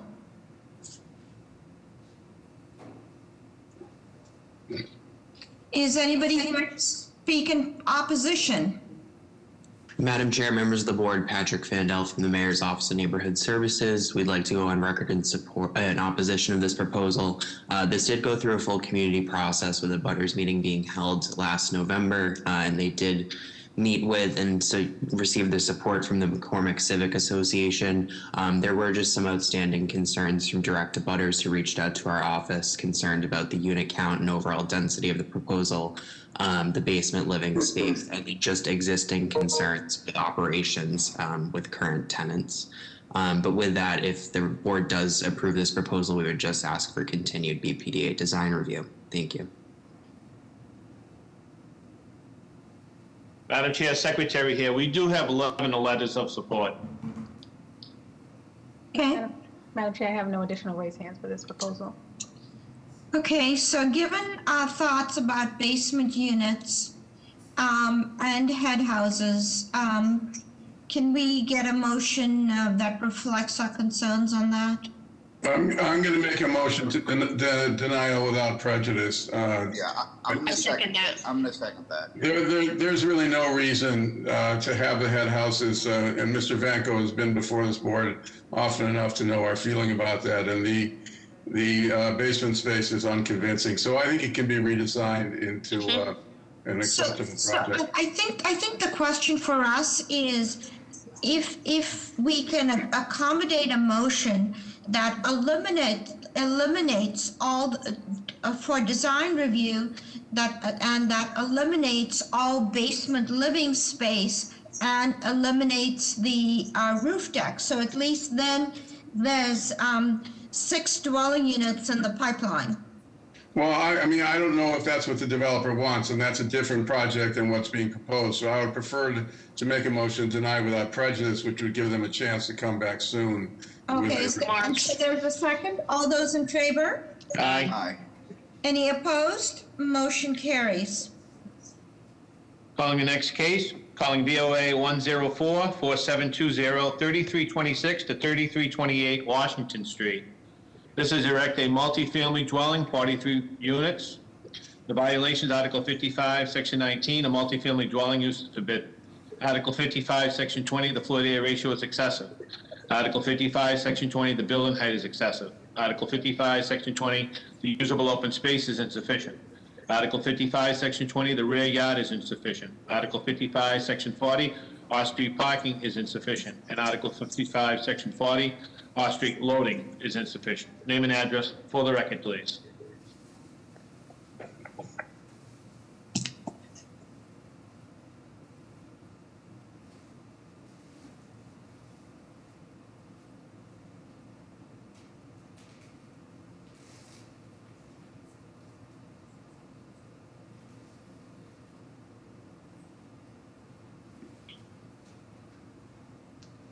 Is that the Exodus Bagel Building right there? Yes, Madam Chair. Okay, please put your name and address on the record and tell us what's being proposed. Jessica, please make Don Wiest the panelist. What's the name, Don? Don Wiest. Well, it, it looks like it says uh, Dan Oh, there. I but- see it, yeah, okay. All right, Dan, you've been unmuted. Can you state your name and address, please? Thanks very much. Don Wiest with the Dain Torpy firm at 745 Atlantic Avenue here in Boston. So, Mr. Wiest, tell us what's being proposed. Yes, Madam Chair. This is a 43-unit multifamily residential building. Uh, If folks are familiar with the area around the Green Street T-stop in Jamaica Plain, this is the old JP Auto Glass site. There's an industrial corridor here that runs between Amory and Washington, centered on the, uh, uh, the the T-stop there. It's been rapidly converting to multifamily residential. This area is also within the zone studied by the JP/ROCS uh, planning process. That plan was adopted by the BPA board. It was not enacted into zoning. So the project before you is consistent with the JP/ROCS guidelines, but we're here seeking zoning relief because it does not comply with the old local industrial subdistrict zoning. So talk us through it, please. Um, so this is purely residential. Is there, there's no commercial being proposed? Um, tell us about, so talk us through it, please. Sure. So, um, two interesting features to this building. On the one hand, it's it's compliant with the JP/ROCS uh, size, massing, use, uh, and affordable housing mix. Uh, it's over 20% affordable per those guidelines. The developers' uh, primary development are, uh, are relatively young, and they are design school graduates, and they've tried to create a building that looks a little bit different than the standard uh, uh, project that we see in Boston. It's got a stepped terrace along the right side as you face the building. It has outdoor spaces. That was always part of the proposal, but with the COVID pandemic, the idea of giving people the ability to work at home, be able to walk out to outdoor spaces in many of the units took on even more uh, appeal. So that's part of the design that's been enhanced. The project, uh, as I mentioned, although it, it uh, it's been blessed through the JP/ROCS review at the BPDA. It's been approved by the BPDA. Um, it does need zoning relief for uh, FAR height, the open space per dwelling unit, um, rear yard, and then because the project is within, within two short blocks of the Green Street T, there is no parking. I should also Yes. mention, Madam Chair, Yes, go ahead. No, no, no, please tell us, give us more details. As you know, um, we'd like to know how far off of the zoning requirements this proposal is and the breakdown of the units and the breakdown of the units. Sure. So in terms of zoning, why don't I address both the, the zoning compliance and the process? Uh, the zoning, because this is a local industrial subdistrict that dates from uh, several decades ago, that zoning contemplates a, an FAR of 1.0 and a building height of 35 feet. We have an FAR of just under three here, 2.99. We have a building height of 60 feet. Um, we also don't meet the fairly restrictive open space per dwelling unit guidelines. The rear yard is a little smaller than what is allowed. It's uh, just under seven feet rather than 20 feet. And again, there's no parking and no loading here. The project started the permitting process in January of 2019, so it was in permitting for over two years. And Um, so, sorry, sorry, can you give us then a, uh, so this is three times the FAR. Um, it's almost close to double the height. And if the rear yard is 20, you're pretty close to the abutter at, at seven feet. Can you give us the breakdown on the units, please? The number of bedrooms, the average size? yes, Madam Chair. Uh, on the subject of the abutters, before moving to the unit count, um, this project has had over 20 meetings with abutters Honestly, and with honestly, Counselor, I'm not, we, we- you know, please, uh, use your time to just tell us about the project. Sure. So the project has two studio units. It has 17 one-bedroom units. Um, and because of community feedback looking for more flexible types of units, um, it has 12 one-bedroom with dens.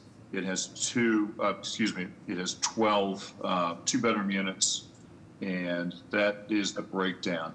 I can tell you, we ended up with. Um, it was originally designed to fit with the, the BPDA's compact living guidelines uh, proposal, but we've ended up making the unit slightly larger than that.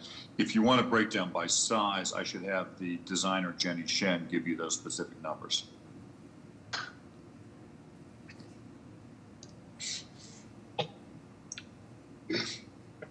Uh, yes, please. Jenny, you're able to raise your hand and uh, provide some additional Jenny, you've been unmuted? Hi. Um, so, uh, I'm sorry. The are you looking for the square footages of all the units? Uh, The average square footage of the two studios, the one beds, the one bed plus uh, den, and the two beds. Okay. So, our studio units are, um, I believe, we're we're about 50 to 100 square feet uh, larger than the compact living um, requirements. So, studios are in the 500 range. One bedrooms are in the 650 plus range. Um, one bed dens are in the 700s, and the uh, two bedroom units are in the 900s. So the two bedrooms are 900s, okay? Um, And is there any space in the proposed, any use in the basement proposed? There is. So if you're able to, um, oh, actually, you can you can see it here. So the site slopes um, about half a story from the from one end to the other of the street facade, and then almost a full story uh, from front to back. Um, so there, you see the bike room entrance to the right. Um, it's going to be about a four foot uh, uh, graduated uh, ramp down to um, a semi-buried basement, which will contain the bike room, uh, storage for the residents, and a few mechanical uses.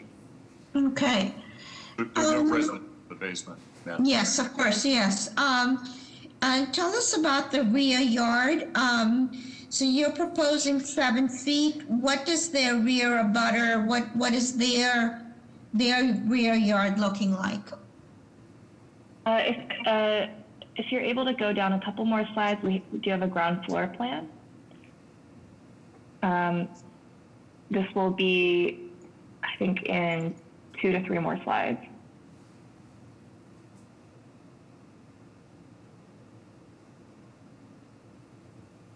Oh, I see. Uh, okay, we so we do, we don't have uh, the neighbor in this plan, but um, so you see that the facade has a small kink in it. Um, so the tightest dimension is about seven feet, and the largest is um, over 11 feet.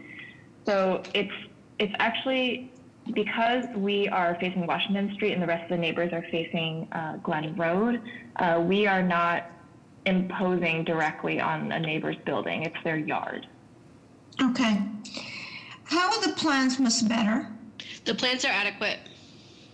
Any questions from the board? So on, uh, on the uh, level one, given the fact that there was a full story variation from front to back, which I'm, I'm very familiar with the site, um, are there units in the rear of the building that are underground?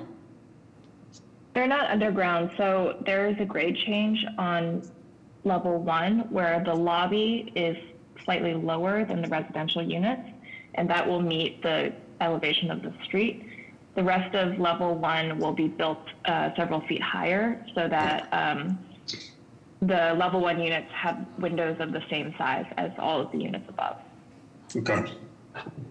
And this is an elevator building, right? Yes. Yeah, okay. Any other questions from the board? I- Is the building, does the building have any sustainability? Like, um, are you attempting to meet Boston's carbon neutral goals? We are going to be LEED Silver certifiable. Okay, any other questions from the board? Um, yeah, the affordability, is that, um, spread proportionally among the different size units?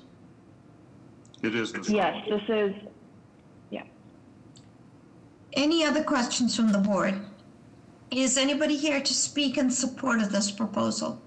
Yes, good morning, Madam Chair and members of the board. My name is Lindsay Santana from the Mayor's Office of Neighborhood Services. The applicant has had an extensive community process. They had their public meeting on October 26, 2020, and received the support from the Jamaica Plain Neighborhood Council. So the Mayor's Office would like to go on record in support. Thank you.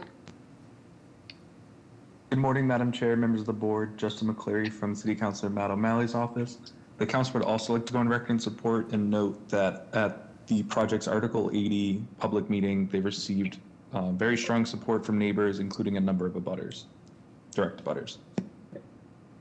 Good morning, Madam Chair, members of the board. Karen Foley, Councilor Essaibi George's office, would like to echo the sentiments of the mayor's office and Councilor O'Malley's office and support this project. Thank you.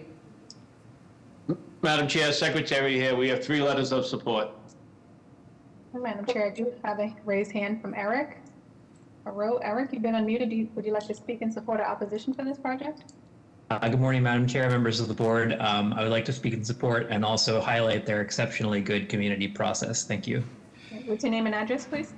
Uh, Eric Harrod, uh, 20 Gay Head Street, Jamaica Plain. Thank you.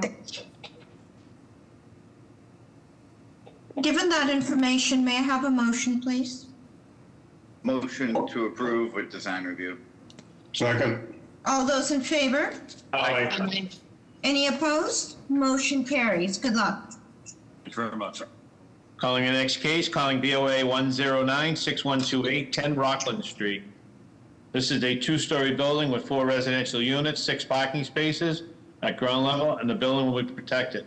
The violation is Article 50, Section 43, off-street parking requirements, Article 50, Section 29, insufficient lot size, Article 50, Section 29, insufficient lot area per unit, Article 50, Section 29, insufficient lot width, Article 50, Section 29, insufficient lot frontage, Article 50, Section 29, excessive FAR, Article 50, Section 29, insufficient usable open space per unit, Article 50, Section 29, insufficient side yard setback, Article 50, Section 29, insufficient rear yard setback.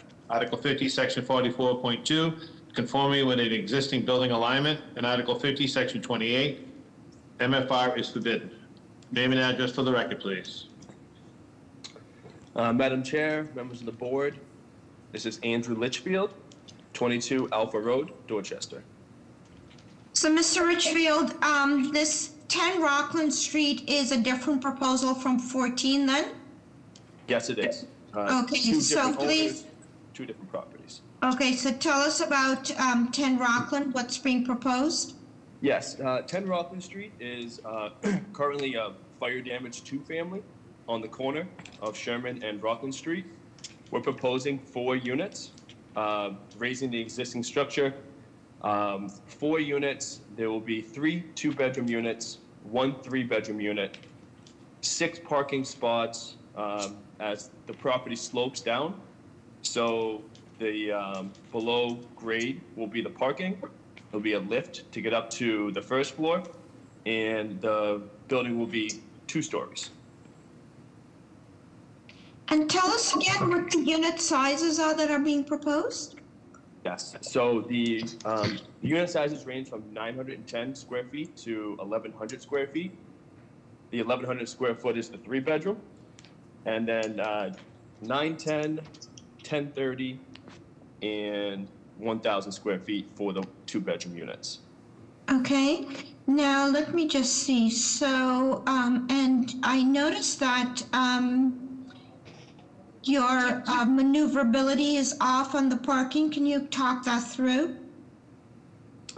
Uh, yes. So we, we do have an existing curb cut on the Sherman Street side of the property. Um, just the way that the uh, lot isn't as deep as other lots are. That's the reason why we need the maneuverability. But you can see the, the parking arrangement on the right side of the of the screen. Okay. Um, and then, um, so this is, so you're raised, you're, you're raising the building and constructing a new, a few, new, new building, right?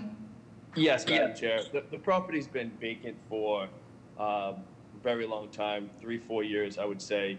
Um, there's been multiple fires at the property, and the property is just not structurally stable. Okay. Uh, how are the plans, Ms. Better? The plans are adequate. Any questions from the board? Is anybody here to speak in support of this proposal? Mayor, members of the board, Jason Gant from the Mayor's Office of Neighborhood Services. We'd like to go on record in support of this proposal. The project has went through complete community process and have been working with the direct abutters to alleviate their concerns. and we urge them to continue to do so. Uh, Welcome, Jason. Um, Any, anybody else to speak either in support or in opposition? Madam Chair, I see no additional raised hands. Okay, may I have a motion, please? Motion to approve BPDA design review. Second. Second, all those in favor? Aye. Any opposed? Motion carries. Thank you. Calling the next case, calling BOA 115-6135, 14 Rockland Street. This is a change existing two-family occupancy to a four-family. And a roof deck on the third story to include parking in the rear. The violations, Article 10, Section 1, parking located less than five feet from the side lot line. Article 50, Section 28, use is conditional, four feet, four feet in the 3F, 3F, 4F, and a 3F district. Article 50, Section 43, off-street parking is insufficient. Article 50, Section 29, the additional lot area is insufficient. And Article 50, Section 29, the usable open space is insufficient. Name and address for the record, please. Madam Chair, Secretary, I'm going to recuse myself on this matter. Thank you. Uh, Good morning, Madam Chair, uh, members of the board. My name is Derek Joyner, Joyner Development, um, 119B Wrentham Street, Boston, Mass. And we're proposing to convert a two-family into a four-family with a roof deck and parking in the rear. We're seeking relief for the following violations: limitation of the off-street parking, um, So, so, so, Mr. Joyner, can you tell us, please, um, the types of units, one bedroom, two bedrooms, the average square feet for each of the units? Sure. So for the unit information, for unit number one, that would be a lower level unit with a walkout. It's on the downward slope. That unit consists of 1,215 square feet. That's a two bedroom with one bathroom. The floor to ceiling height is eight feet, two inches. The floor to sill height on five windows is 36 inches. One of the windows is 46 inches. The floor to grade height is four feet, seven inches. Unit two would be on the first floor. That unit is also 1,215 square feet. The ceiling height is 10 feet, consists of two bedrooms, one bathroom. Unit three is on the second floor. That's also 1,215 square feet, 10 feet high ceilings, two bedrooms, two bathrooms. And unit four is on the third floor.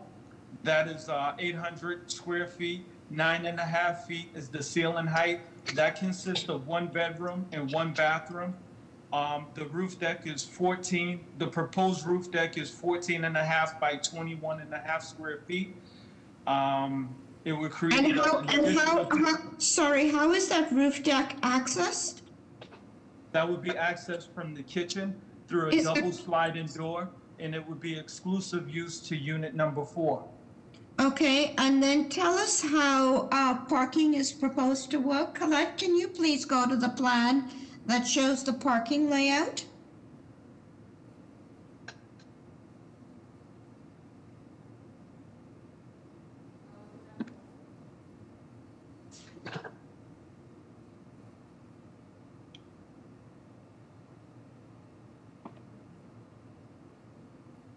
So we're proposing three parking spaces. The two parking spaces that are side by side um, are pretty sufficient. They both have five feet from the sideline lots.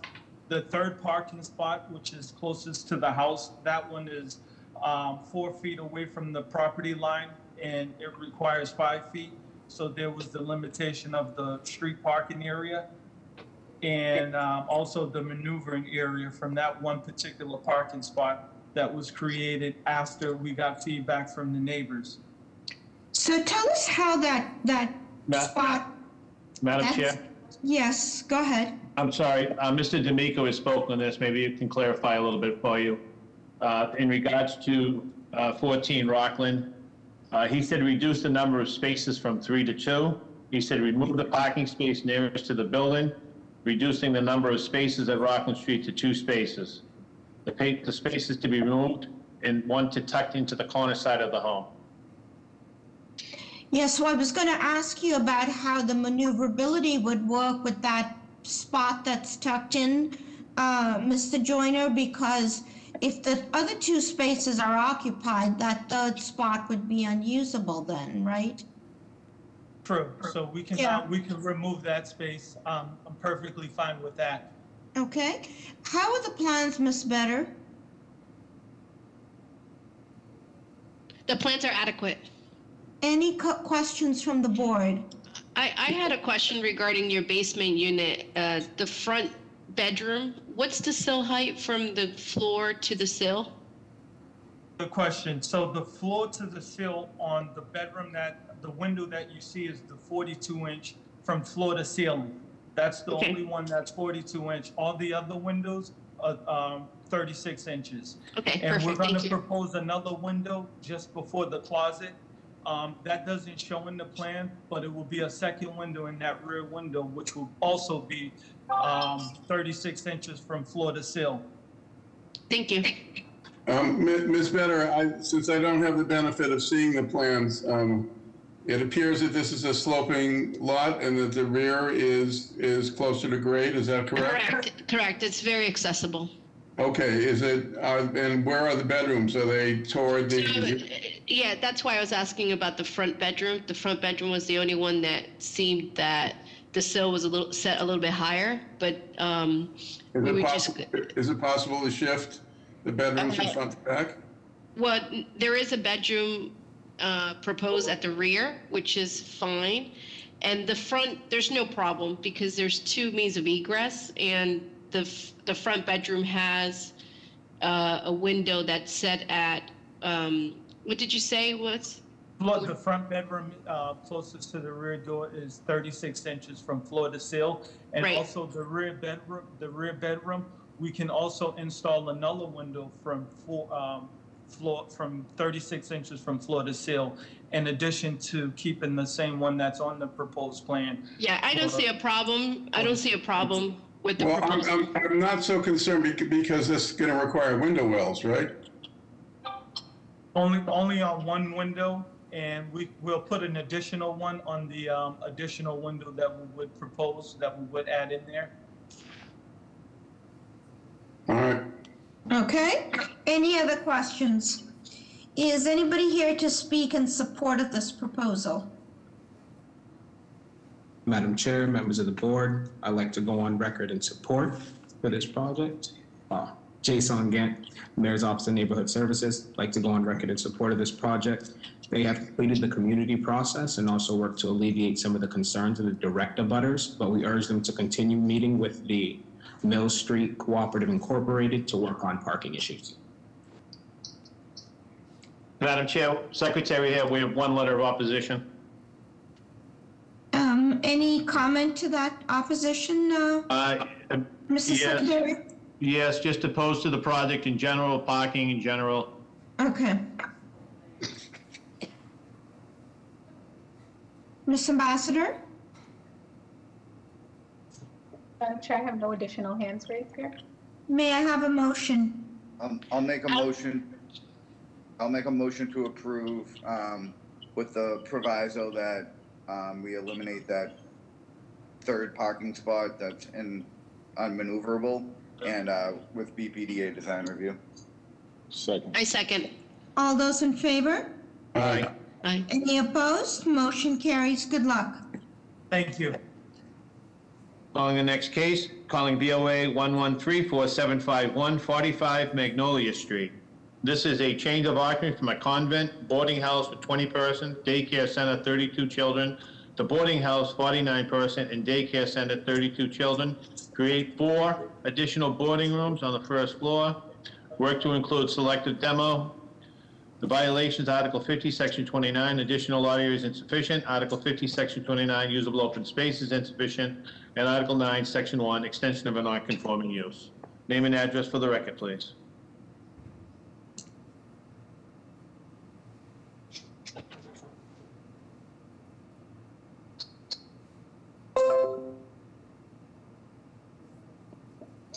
Is Mr. Gibbons here?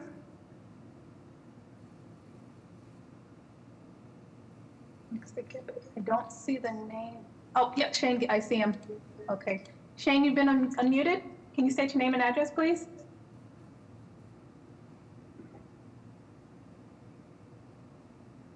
Hi, Shane, can you hear us?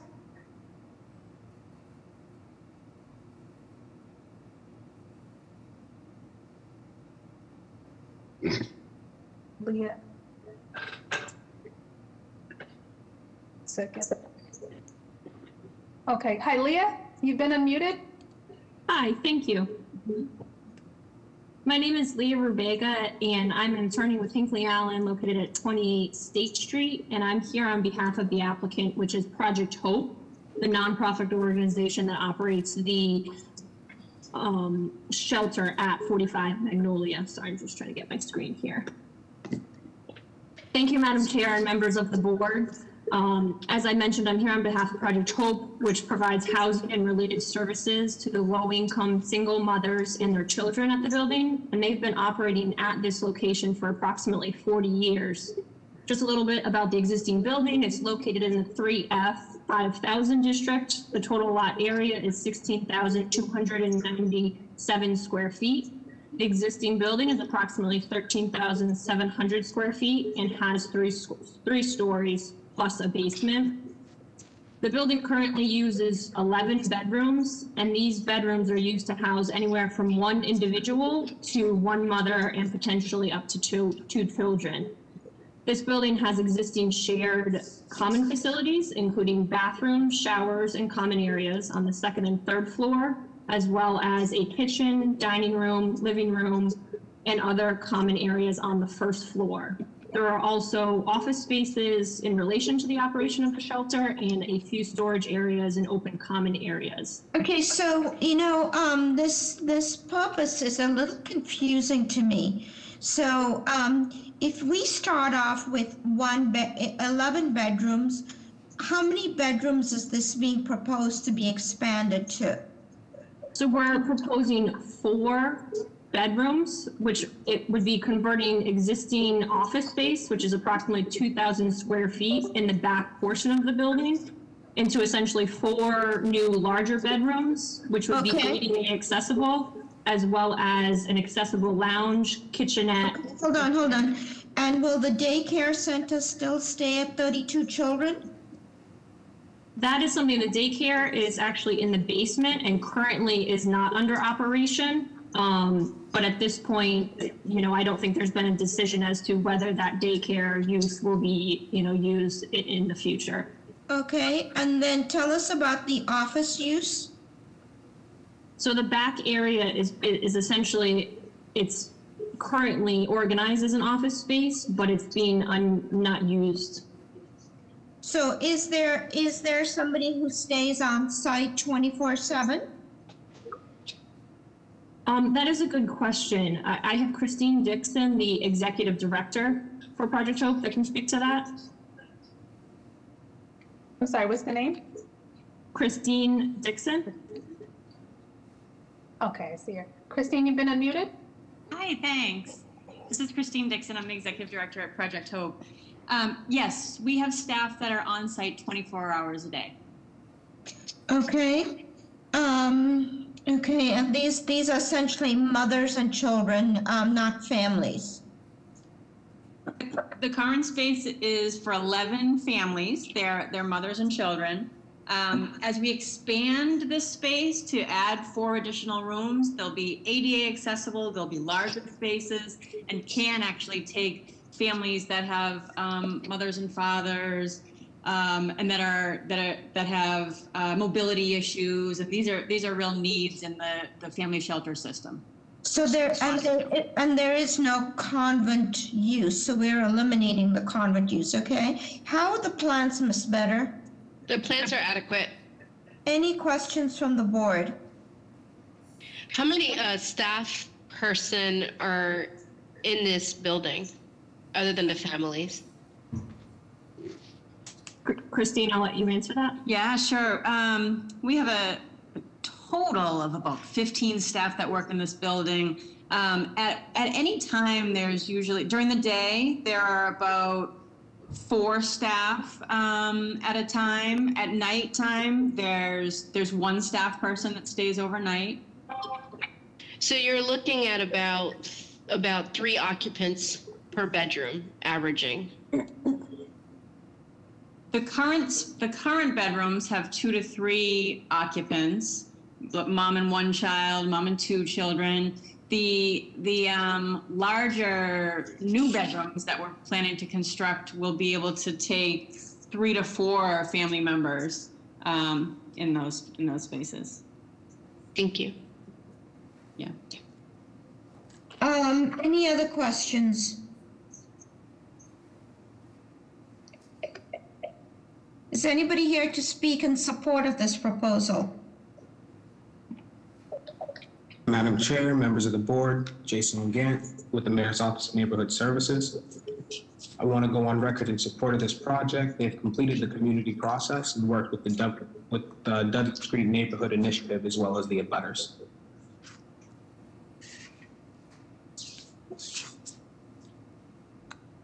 Madam Chair, Madam Chair, the Secretary here, we have one letter of opposition, one letter of support. Okay. Any, any other raised hands? Madam Chair, I have no other raised hands on my side.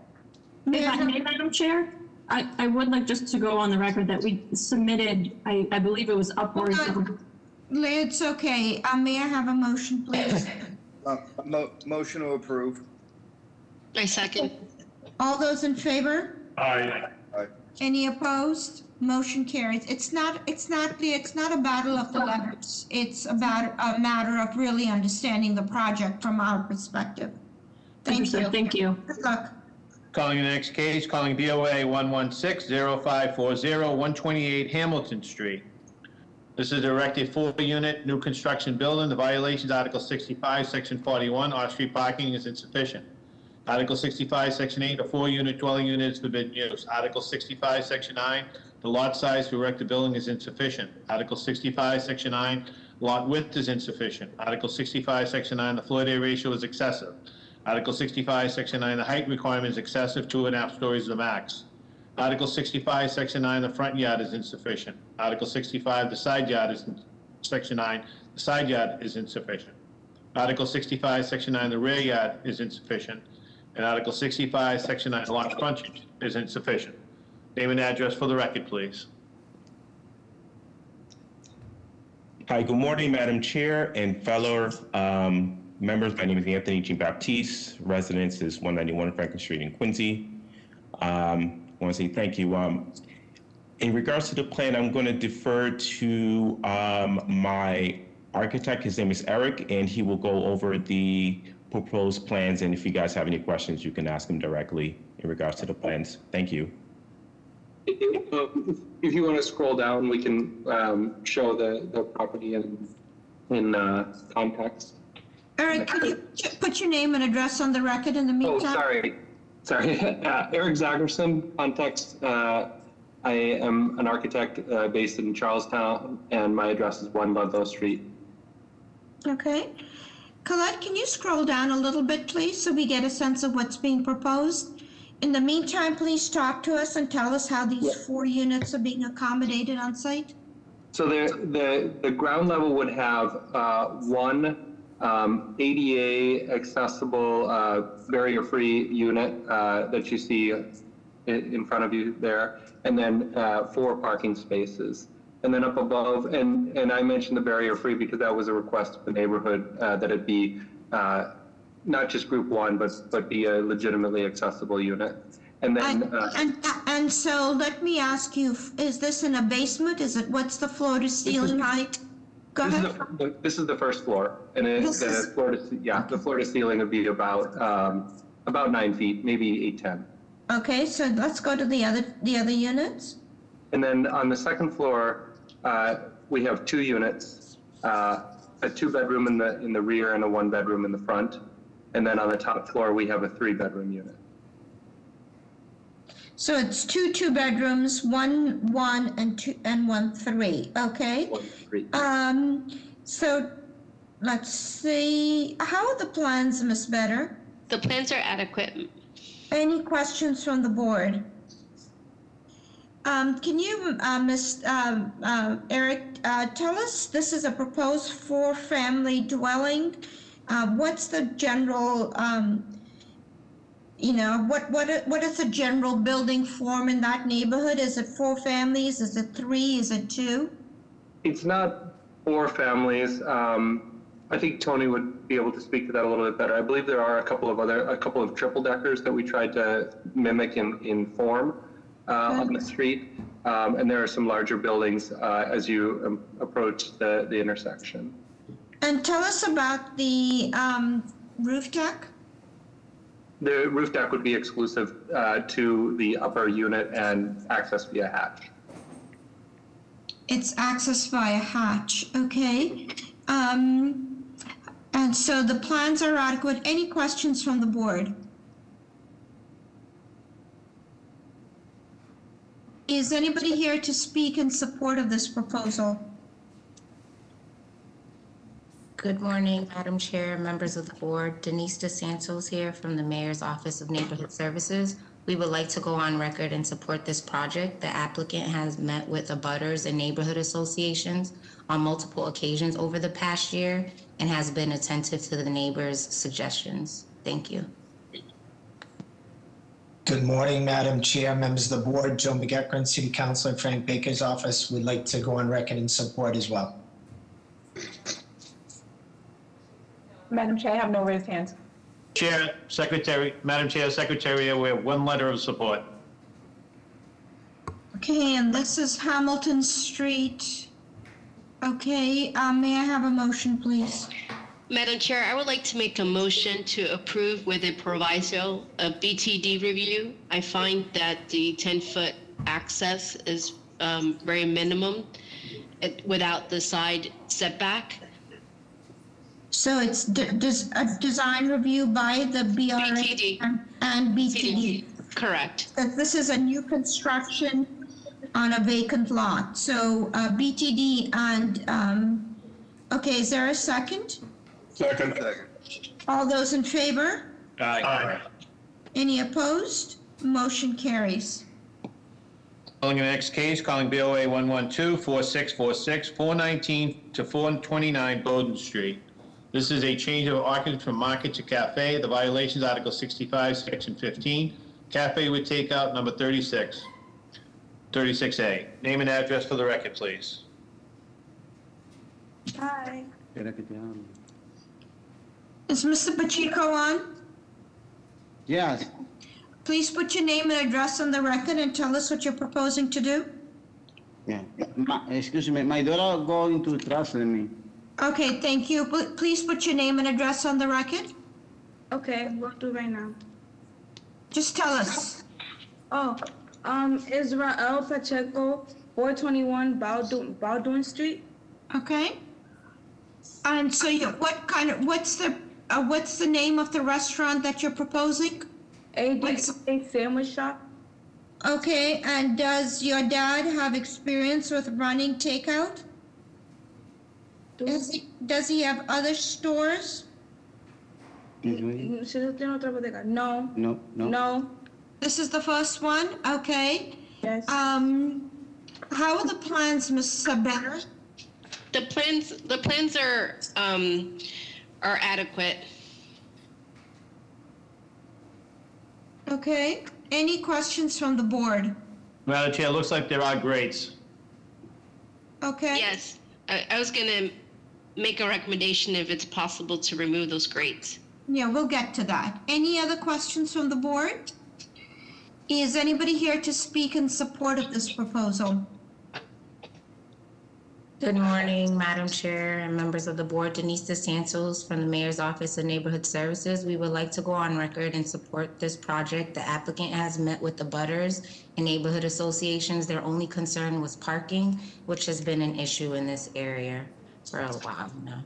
Thank you. And, and should this be approved, can we ask the um, Office of Neighborhood Services to work very closely with this applicant to make sure that um, any provisos are met, okay? Because we do want to see diversity in, in restaurants and restaurant operators and the types of restaurant. However, we do need to make sure that there is a clear understanding of what the expectation is about takeout. Okay? Di- Didn't, just uh, one question, Madam Chair, um, and I guess that's the neighborhood services. Um, is this a Main Streets, is there a Main Streets district here or not? Yeah. Yes, there's a Main Street. Okay. Yes. Maybe we can hook up the, the applicant with them for Okay. signing and break and stuff. Any, anybody else to speak in support or in opposition? Madam Chair, Joe McEachran, City Council, Frank Baker's office. Um, We'd like to just make a note that if the applicant could continue to do some reach out with the neighborhood, some folks feel as though they weren't included in the process. Um, We just wanted to kind of bring that to uh, their attention and encourage them to keep working with people in the community. Okay?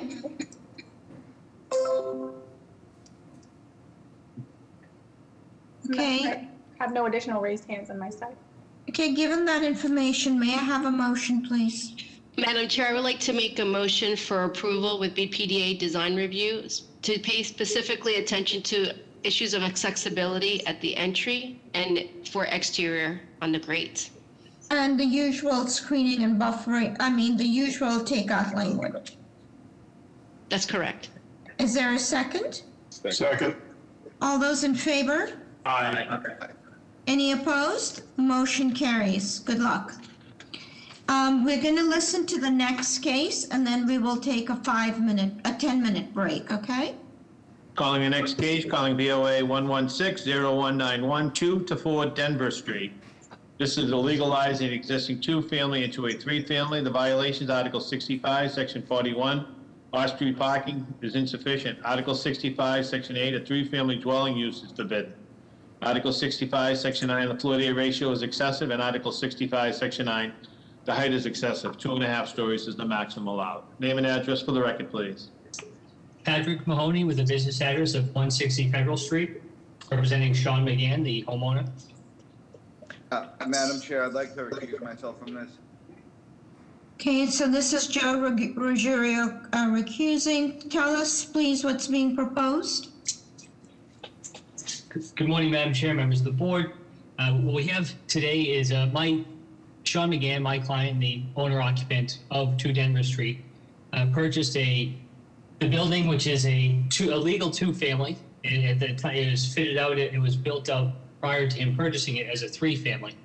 And he is, uh, which he discovered upon a refinance about nine months ago.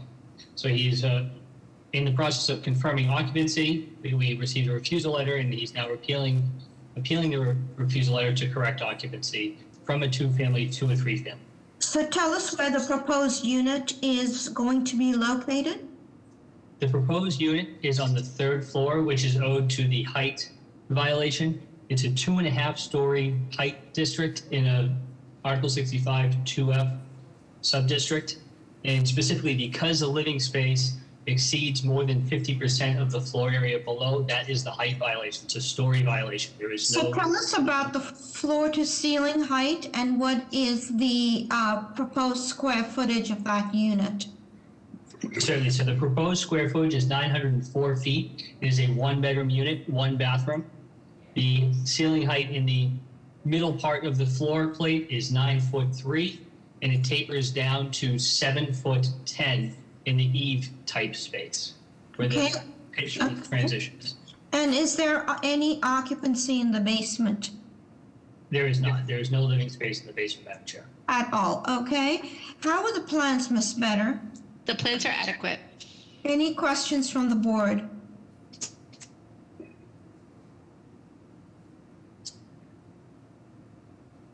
Is, is anybody here to be, anybody here to speak in support of this proposal? Madam Chair, members of the board, Patrick Fandell, Mayor's Office of Neighborhood Services. The applicant notified his neighbors and met with the St. Mark Civic Association. Uh, no concerns were raised. Um, we'd like to go on record in support. Madam Chair, members of the board, Joe McEachran, City Councilor Frank Baker's office We'd like to go on record in support. Madam Chair, Secretary, here we have one letter of support. Madam Chair, I do have a raised hand by Christopher Cardoso. Hi, Chris, are you looking to speak to, in support or opposition of this project? Okay, he, he lowered his hand, I'm sorry. May I have a motion, please? Motion to approve? Second. All those in favor? Aye. Any opposed? Motion carries. Thank you, Madam Chairman. Thank you. Uh, The meeting is now adjourned for 10 minutes. In the meantime, uh, please, the next project at 1732 River Street, please get prepared. We will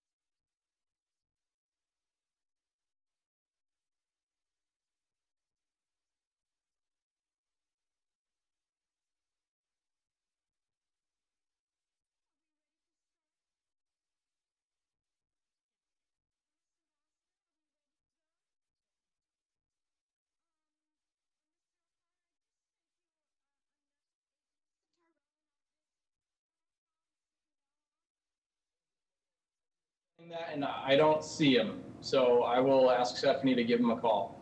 Okay. Um, so with that information, uh, just to remind any applicants here that this is a six-member board, so you would need five members to be in support of your approval, of your pro- proposal. Um, Mr. Fortune, please go ahead. Thank you, Madam Chair. Calling the next case, calling BOA 114-0176, 1732 River Street. This is extension of residential living space from two to four dwelling units and from, from two existing stores to one store, one hair salon, and fully renovate. The violation, Article 67, Section 8, a multifamily dwelling unit floor is forbidden use. Article 67, Section 32, off-street parking is insufficient. Article 67, Section 8, the hair salon and residential subdistrict is a forbidden use. Article 67, Section 9, the location of the main entrance to the dwelling unit must face the front lot line. Article 67, Section, Section 9, the side yard is insufficient. Article 67, Section 9, the rear yard is insufficient. Article 67, Section 9, the floor area ratio is excessive. And Article 67, Section 9, the lot area for additional units is insufficient. Name and address for the records, please. Uh, Tim Johnson, architect, 599 East Broadway. Uh, Mr. Fortune, that was an incorrect You description. know of what? the I project. apologize. I just called into the wrong record. Thank you, Mr. Johnson. Um, Well, since you've called it on the record, maybe we just go to Washington Street. No, we've already approved that one. Sorry about that. I'm sorry, no, we didn't. Uh, I'm sorry. So River Street, uh, sorry. I did call the right number, but I'm gonna do it all over again. Case BOA 1140176, 1732 River Street. This is on a vacant land erected three-story, four-unit residential building with garage in front and rear roof decks.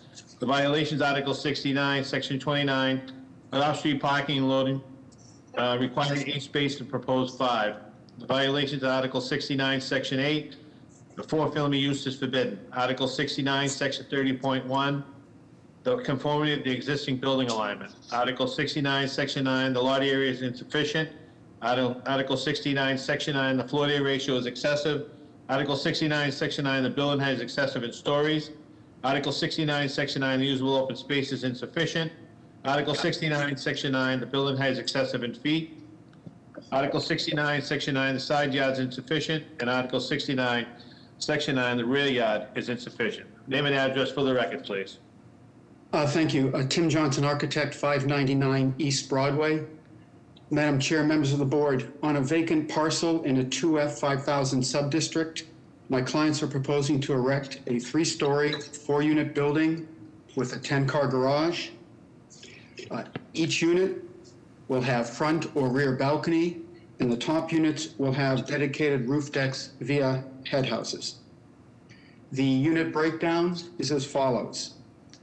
At the ground level will be the entry foyer and the entrance to the garage, 10-car garage via an existing curb cut. At the second floor, we have two duplex units at two-bedroom units at 1,400 square foot each. And at the third floor, we have two units, two-bedroom units at 1,200 square feet. At our virtual neighborhood meeting was attended by approximately four to five neighbors. Uh, We have support from our direct abutters at 1728 and 1736 River Street. The only concern from the abutters was the rear abutter asked for the head house to be enlarged to block his view. I'm sorry, he asked for it to be enlarged? Uh, Yes, Madam Chair, to block his view of the roof decks. I see, I see, okay. Um, and as I look at these violations, these are a lot of violations. Tell us about the rear yard. There's a couple of things. The rear yard, um, requirement and what is being proposed. And, um, let's see, the other thing is, um, I'm forgetting what the other thing is, so please go ahead on this one. Yes, ma'am, yes, ma'am, uh, yes, Madam Chair. Uh, The rear yard required is 40 feet. Uh, We are at 10 feet. Uh, This was incorrectly noted at 8.3. We are at 10 feet at the garage level, and then at the second and third floor, we pull in to 16 feet from the rear uh, as you can see in the uh, building section here, we're at 16 feet at the second and third floors, which the rear butters were very uh, happy about. Okay, and can you tell us about the circulation in the garage? How is that proposed? Well, we are utilizing an existing curb cut, and uh, if you want to go to the garage floor plan, or shall? Thank you. So uh, we have five standard spaces, Madam Chair, and five tandem spaces. We are proposing uh, five vertical lifts for the autos. Uh, Therefore, we have a 13-foot floor-to-floor from the ground to the second floor. And you can see the uh, rear of the garage are the lower areas, which are media rooms for the units above. And um, is this an elevator building? In, in other words, any of these units accessible, handicapped accessible?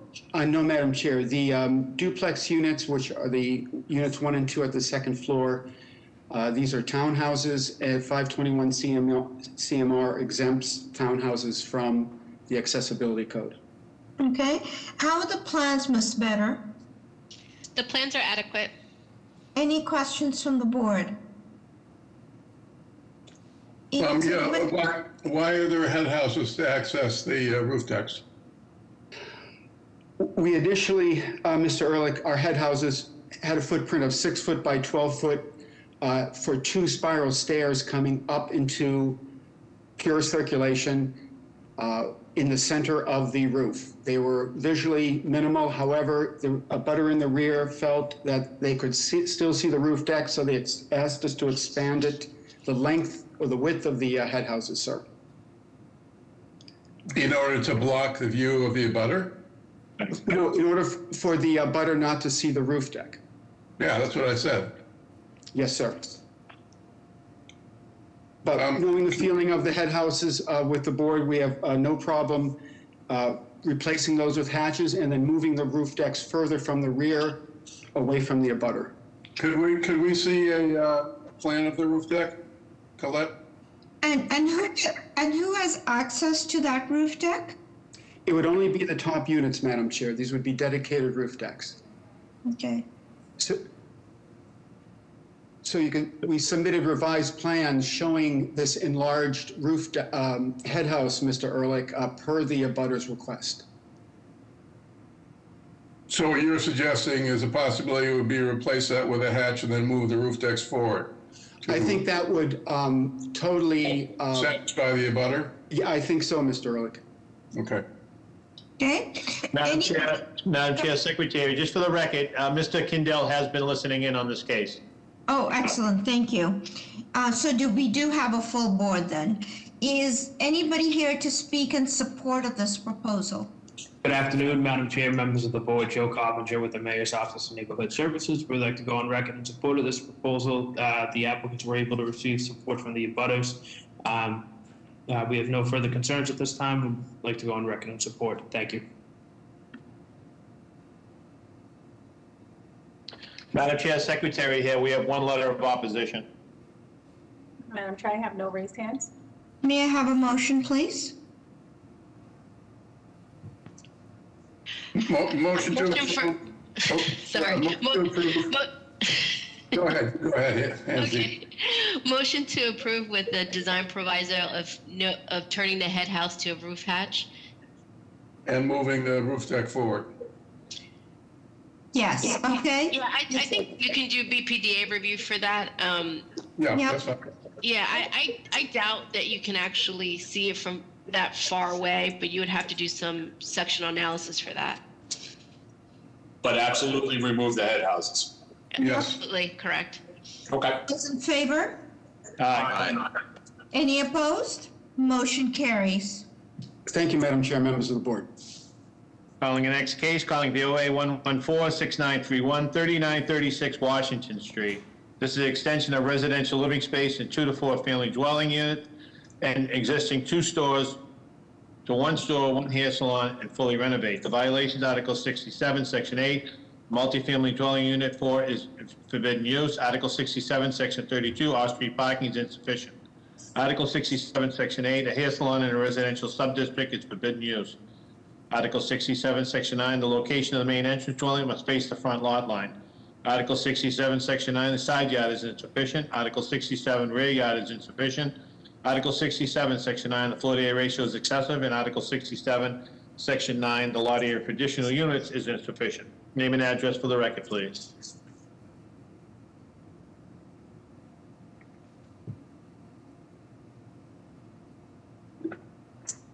Oh, sorry, Kyle Smith is here. One second. Uh, Kyle.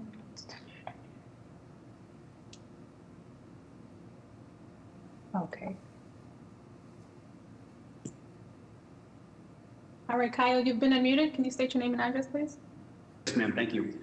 Uh, Madam Chair, members of the board, this is Kyle Smith with KDS Law, a business address of 359 Newbury Street in Boston, Massachusetts.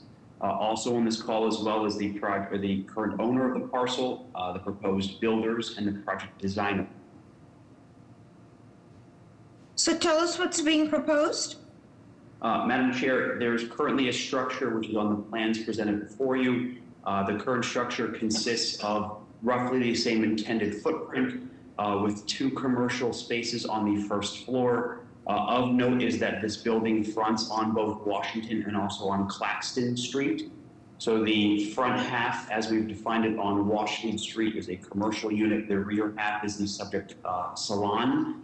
And there are two current residential units that are situated on the front half of the parcel closest to Washington Street on the second and third floor. Uh, there is currently a curb cut on the left side of the parcel uh, and the building as it's situated on Washington Street, which provides for about two parking spaces. The intended project is to uh, slightly draw forward the building on Washington Street by a few feet, uh, and then over the existing footprint in the rear, which is currently only a single story, to build both a second and third story to provide for uh, two additional uh, residential dwelling units. Uh, the building footprint will be expanded only uh, forward towards Washington Street a few feet to bring it more in line with other similar situated structures on Washington Street and a slight addition laterally to the left to the rear of the structure. So essentially taking the building from two residential units on the first floor, two residential units in the front half of the building on the second and third floor to then build two additional residential dwelling units uh, the third floor of the current structure would be removed, building a third floor with a flat roof. Uh, all units are proposed to be two beds, two baths of approximately 750 to 750 square feet. Two beds, two baths? Um, Yes, and so, um, I'm actually kind of familiar with this building. Um, can you tell us about the hair salon and where that is proposed to be? Yes, so the current hair salon is the second commercial unit, uh, which fronts on Claxton Street. So if you're standing on Washington, it is the second unit, uh, commercial unit running away from Washington Street. Um, as I understand it, that has been in existing use since 2010. Uh, we do have a certificate of occupancy from 2007 evidencing acceptability for commercial use for a store, which is arguably for the market identified on the plans before you. So to answer your question, to reiterate, the hair salon is an existing use that has been in existing use since 2010, as I understand it, and the intent is to have the current tenants remain. Okay, and I'm thinking that, um, this is going to, okay, and these, both these commercial spaces have grates on them. Um, and, um, okay. How are the plans, oh, so, so I, this is the one I was curious about. We, we talked about the location of the main entrance of the dwelling unit must face the front lot line. Um, tell us how that is supposed to lay out.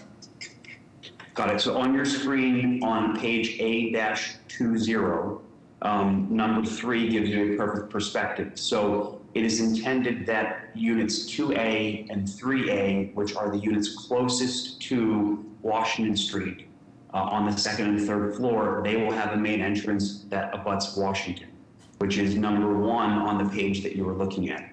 It is then intended that units 2B and 3B, which will be the rear units off of Washington Street, will have a main entrance that fronts on Claxton Street.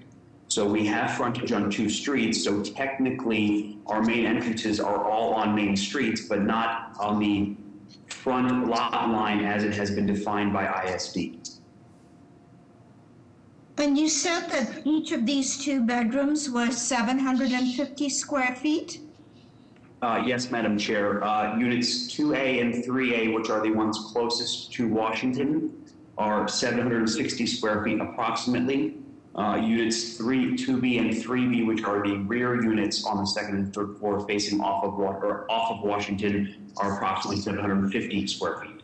Okay, because I am looking at some of the proposals that we've approved today, and the two bedrooms have come in at 900 plus square feet. Um, just to give you an indication, uh, 900 to a thousand, uh, even we had one bedroom on, on Denver Street just now that came in with a one bedroom came in at 904 square feet. Um, so, you know, we need, you need to really think about whether those are two bedrooms really, or if that's just in, in essence a one bedroom. In the meantime, how the plans, Ms. Better? The plans are adequate. Okay, uh, any questions from the board? Is anybody here to speak in support of this proposal? Good afternoon, Madam Chair, members of the board. Joe Coppinger with the Mayor's Office of Neighborhood Services. We'd like to go on record in support of this proposal. We uh, we held a community meeting back on January 25th. Um, we heard no concerns from the community and uh, believe this is a viable project for the neighborhood. Uh, therefore, would like to go on record in support. Thank you.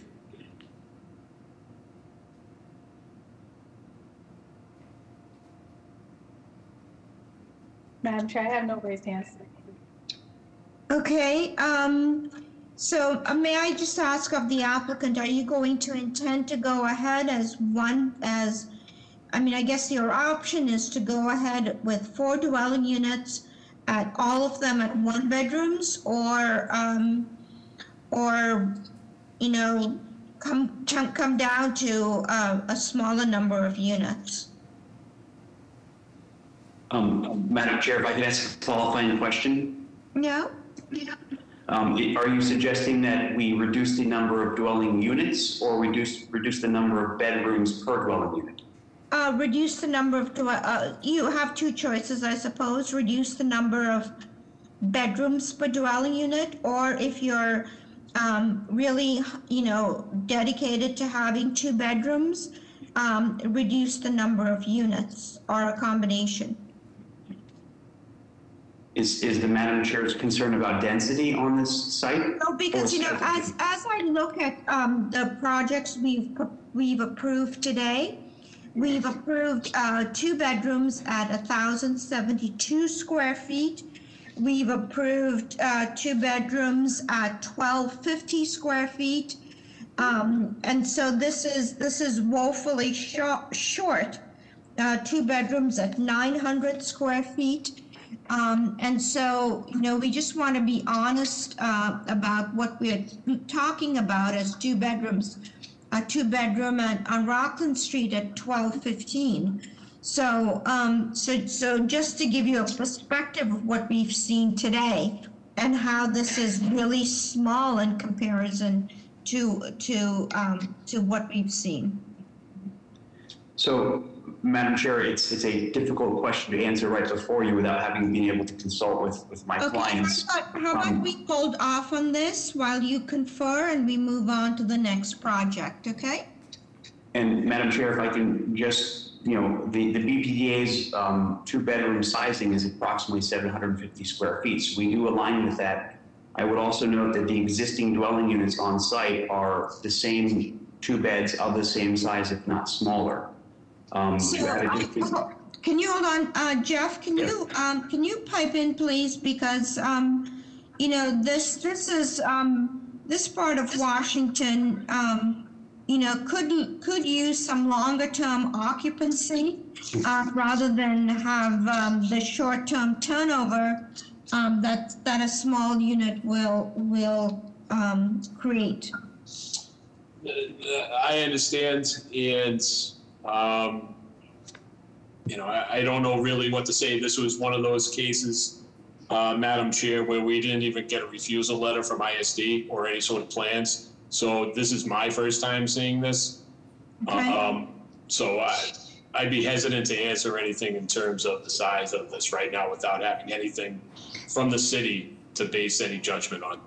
Okay.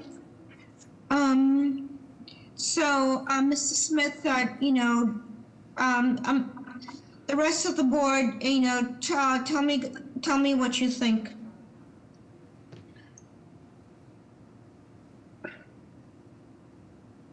Um, the, um, from my perspective, these units seem a little undersized, but not, uh, but, but not out of the norm, for better or for worse. Yeah, I, I think 950 is okay for a two-bedroom. So, Not nine fifty, because this is seven fifty. Did you say nine fifty or seven fifty? I'm sorry. it's, he said seven fifty. Oh, okay. Yeah. So, you know, uh, Mr. Smith, you're welcome to take a break and we can move on to the next project and come back to you while you, um, you know, discuss with the property owner what, what you're thinking, okay? All right, I will uh, post back into the chat when I've had a chance to communicate with the client. Okay, thank you. Cheers, Mayor. Um, Mr. Um, So Madam Chair, how are we gonna handle it? Am I gonna call this back into the record? Ye- Uh, we'll just call the address and the BOA number back into the record, but we can go ahead with, uh, the next project on Walk Hill. Okay. Calling the next case, calling BOA, sorry. 112-5657, 49A Walk Hill Street. This is three-unit dwelling with three off-street parking spaces. The violations, Article 55, Section 8, a 3F and a 1F zone. Use is forbidden. Article 55, Section 40.5D, parking spaces, sizes. Article 55, Section 9, lot width is insufficient. Article 55, Section 9, lot frontage is insufficient. Article 55, Section 9, the floor area ratio is excessive. Article 55, Section 9, building height is excessive in stories. Article 55, Section 9, side yard is insufficient. Article 55, Section 9, front yard is insufficient. And Article 55, Section 9, usable open space is insufficient. Name and address for the record, please. John Moran, Alpine Advisory Services, with the mailing address of 130 Beach Road, Orleans, Mass. Good afternoon. Uh, What we are proposing is to erect in a 1F4000 zone district, a three-unit dwelling, which we would suggest complements the existing neighborhood fabric in the immediate area consisting of three and two-unit dwellings. Uh, The lots in the area are generally undersized. uh, So the issue, uh, if I may, uh, first describe the proposed building, which would have no habitation in the basement. Units one and two would be two beds, two baths with each sized at 1,186 square feet. Uh, The third unit also would be a two-bed, two-bath uh, with 1,101 square feet. Again, only storage, no habitation in the basement. Uh, we So um, I'm a little confused. Um, where is the A coming from? Was this a subdivision of a property? No, this is, these were two separate lots. Uh, They are in common ownership. Uh, It is not a subdivision. Okay. Um, and uh, tell us, um, Kate, tell us about how uh, the circulation will work on the parking. The, the existing access to 49, I I wish to note that both 49 and 49A are in common ownership. The existing access is from the, the existing curb cut at 49A. Uh, It is being maintained by continuing on to the rear of 49A to 49 to maintain their parking spaces. Uh, We are proposing three parking spaces for 49A. There is a fourth parking space which straddles the property lines. Uh, It's shown, if we can go back down, go back up to the prior map here, please. Uh, it, it shows a fourth parking space which straddles the property lines be, between 49 and 49A, uh, which would be utilized by 49. Uh, In the event there was a separation of ownership, appropriate easements would be granted by 49A for use of the driveway and access to 49A across, to 49 across 49A, and the use of the fourth parking space which straddles the property line to be used by 49 to maintain three uh, parking spaces to the rear of 49. Okay. Um, Ms. Better, how are the plans? The plans are adequate. Can we see a rendering of the, the proposed project? In the meantime, any questions from the board? Is anybody here to speak in support of this proposal? Yes, good morning, Madam Chair, members of the board. My name is Lindsay Santana from the Office of Neighborhood Services. And a butters meeting was held on November 19th, 2020, where the neighbors were supportive of this proposal. The applicant also received the support from the Jamaica Plain Neighborhood Council, so the mayor's office would like to go on record in support. Thank you. Good afternoon, Madam Chair, members of the board. Justin McCleary from City Councilor Matt O'Malley's office. The council would also like to go on record in support.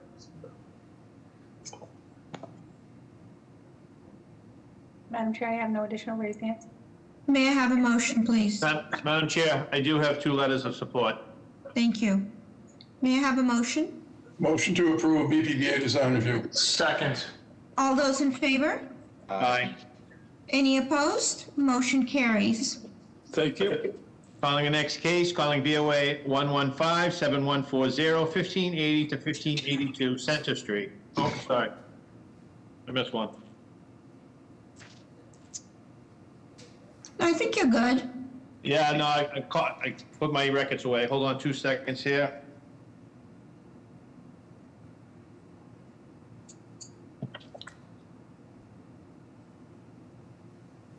This is uh, a change of occupancy from, from two to a three-family dwelling. Violations, Article 67, Section 32, off-street parking is insufficient. Article 67, Section 8, a three-family is forbidden use in a 2F 5,000 sub-district. Article 67, Section 9, the required lot for a three-family, existing lot is 3,622. The viola- uh, violations, Article 67, Section 9, the usable open space is insufficient. Name and address for the record, please.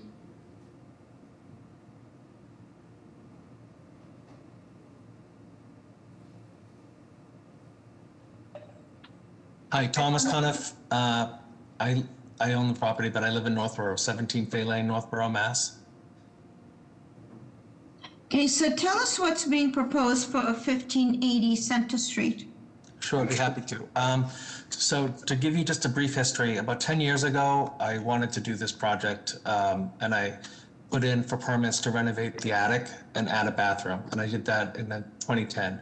And at that point, um, I had a contractor who said he could turn it into a three-family, and after all the work was done, he said, "You need to get zoning and all this stuff." Uh, he didn't explain that to me in the beginning. So um, I went down to the zoning department and they said, uh, no, uh, it won't get approved. So I, I never, I've been trying to rent it uh, for the last 10 years as a two floor apartment, which has been really challenging because it's, it's bigger than my home home. It's, it's too big. Um, long story short is uh, then someone told me, well, did you appeal on it? And I didn't realize it. So I wanted to talk about what the project is. Um, I'm not looking to change anything with the exception of, um, if you look on the third drawing, if you want me to take control of the mouse, Can- everything can- exists uh, as is. Hold on, hold on. Can you turn your, your picture on and um, the, the, um, the, the drawings are controlled by Colette, so tell her which drawing you need to get to? Um, turn my picture on. I, I Oh, just, sorry, start I video. Got it. I Yep, just see sorry. video, I'm sorry. No worries, no, sorry. Very So, articulate uh, at the end of the day. Okay. No, I understand. Okay, so if you look at the, um, the drawing that's up on the screen, Yes. it says, um, third floor plan. Mm-hmm. Okay, so I'm going to walk you through how someone today, there's no change to anything really, except for this one piece. So when you enter the home, there's uh, two doors in the front, and there's a walkway up here on the first drawing that goes up to the second floor landing, which is on the second picture.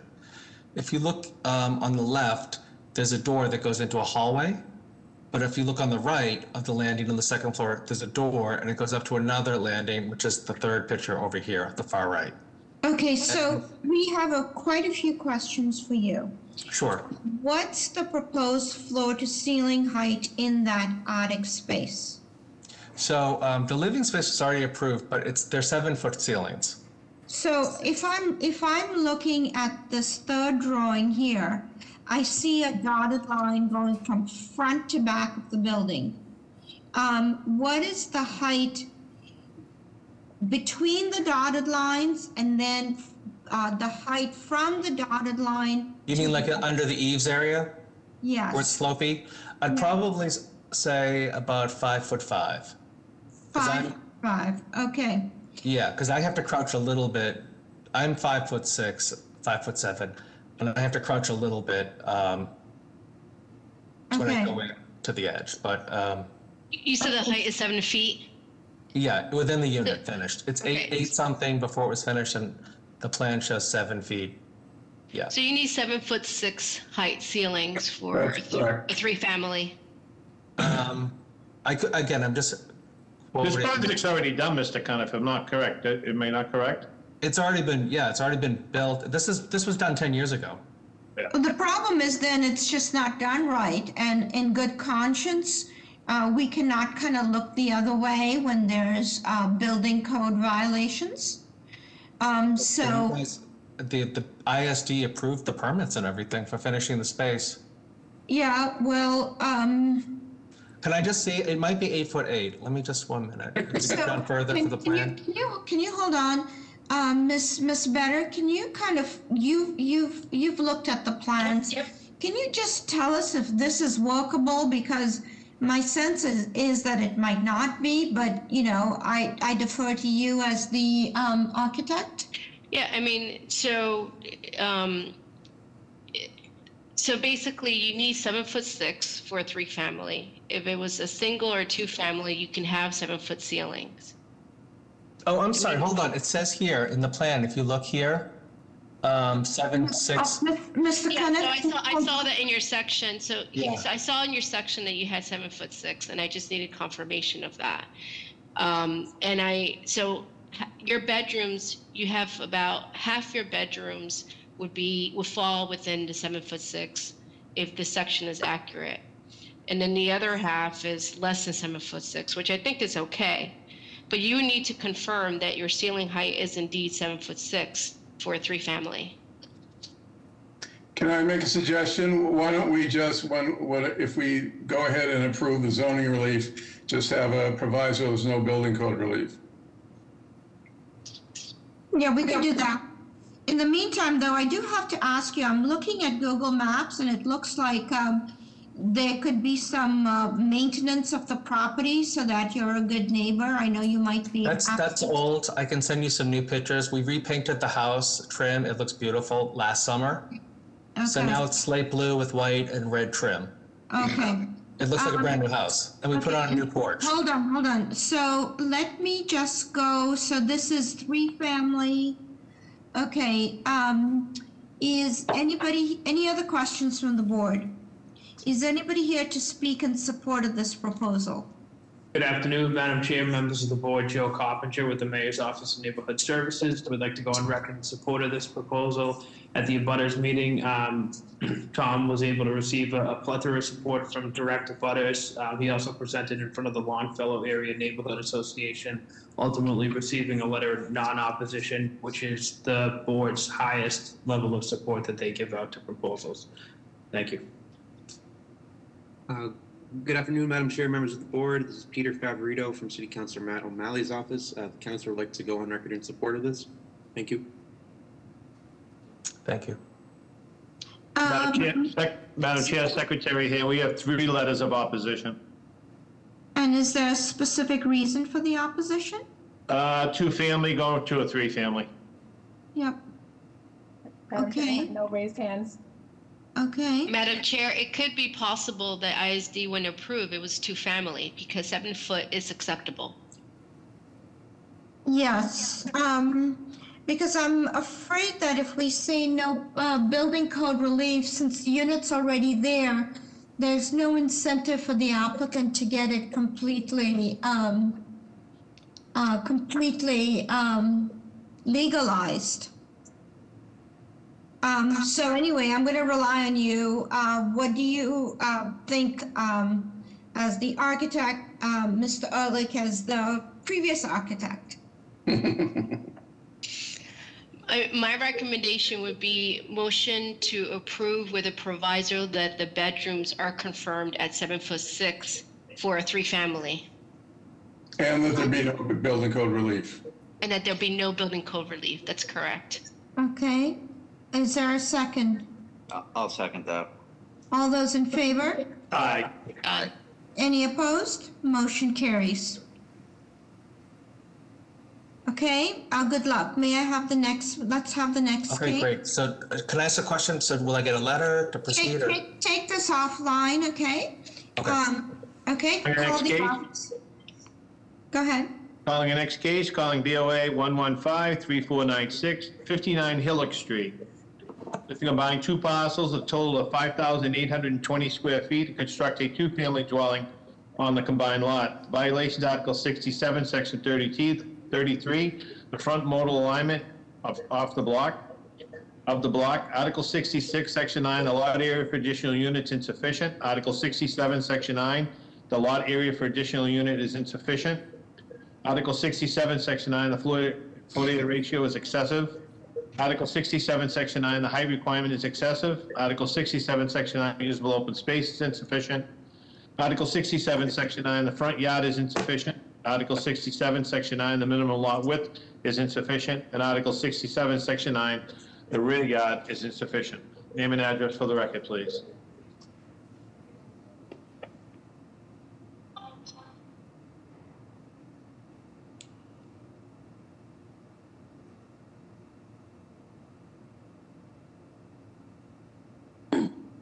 I'm looking to see if anyone's on for this one. Um,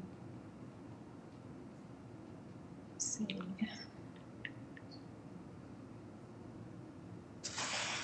Hello, can you hear me? Yes, can you state your name and address? Yes, hi. My name is Russ Forsberg. I'm here on behalf of Simone Barnett as the project representative. My address is 19 Fairview Avenue, Abington, Massachusetts. So, uh, please, uh, Mr. Forsberg, tell us what's being proposed. Certainly, Madam Chairman. Uh, What we are looking at here is to create a lot by combining two properties that are presently vacant to create a lot total of 5,820 square feet. Um, On that, we are looking to construct a two-family dwelling. Um, The units themselves will be identical in terms of their size. They'll be 1,660 square feet each. They will contain three bedrooms and two and a half bathrooms. On the upper uh, most level there, the half-story, if you will, there will also be a roof deck of approximately 145 square feet provided for both units. Okay, now, um, I'm having, um, Mr. Forsberg, um, I'm having a little bit of a conceptual problem with this because I do know, happen to know the property. It's not that far down the street from me.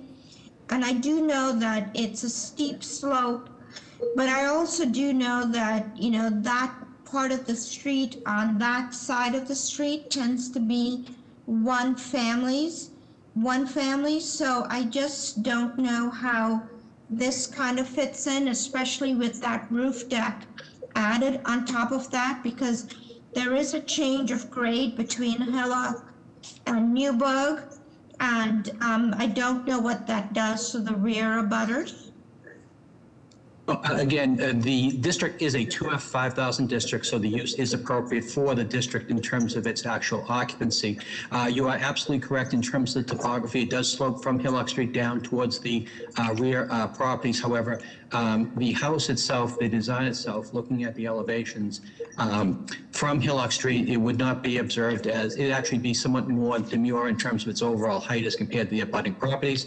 Uh, The the uh, structure, as I said, is a two and a half story structure structure. So consequently, to the rear of this property, uh, or the rear portion of this proposed structure is the roof deck itself. So the perception or the, um, or the view from the, those properties in the back would be that of essentially a two, a two-story structure. So I don't believe it would be over-imposing uh, to those uh, individuals uh, who uh, reside back there uh, behind the properties behind it.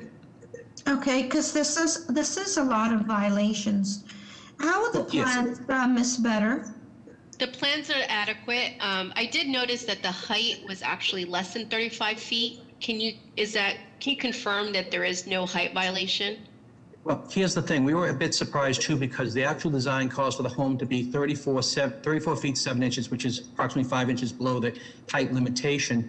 Um, So we can only presume that ISD uh, felt that with the um, change in topography and such, that they uh, made some sort of presumption that, uh, that at some point, uh, the structure would be at a height over, based upon average grade around the, the structure, over the 35 feet. Um, Again, we're not looking to not uh, be granted relief because we're not sure what their rationale for citing that was. Also, I would like to point out in terms of the uh, floor area ratio, that it's a total of 410 square feet at which we are over the uh, approved standard. So it's not a considerable amount of relief that is sought at that particular point. Thank you. Thank you for the clarification. Yes. Madam Chair, er- er, it, the plans are adequate. And um, any questions from the board? How, how is that? How are those roof decks accessed? Uh, They're accessed directly from the uppermost portion of the structure through the uh, bedroom space themselves. So each unit, I'm sorry, each, yeah, I'm sorry, each unit would have their own roof deck respectively, and it'll be accessed through what we could term um, the uppermost bedroom.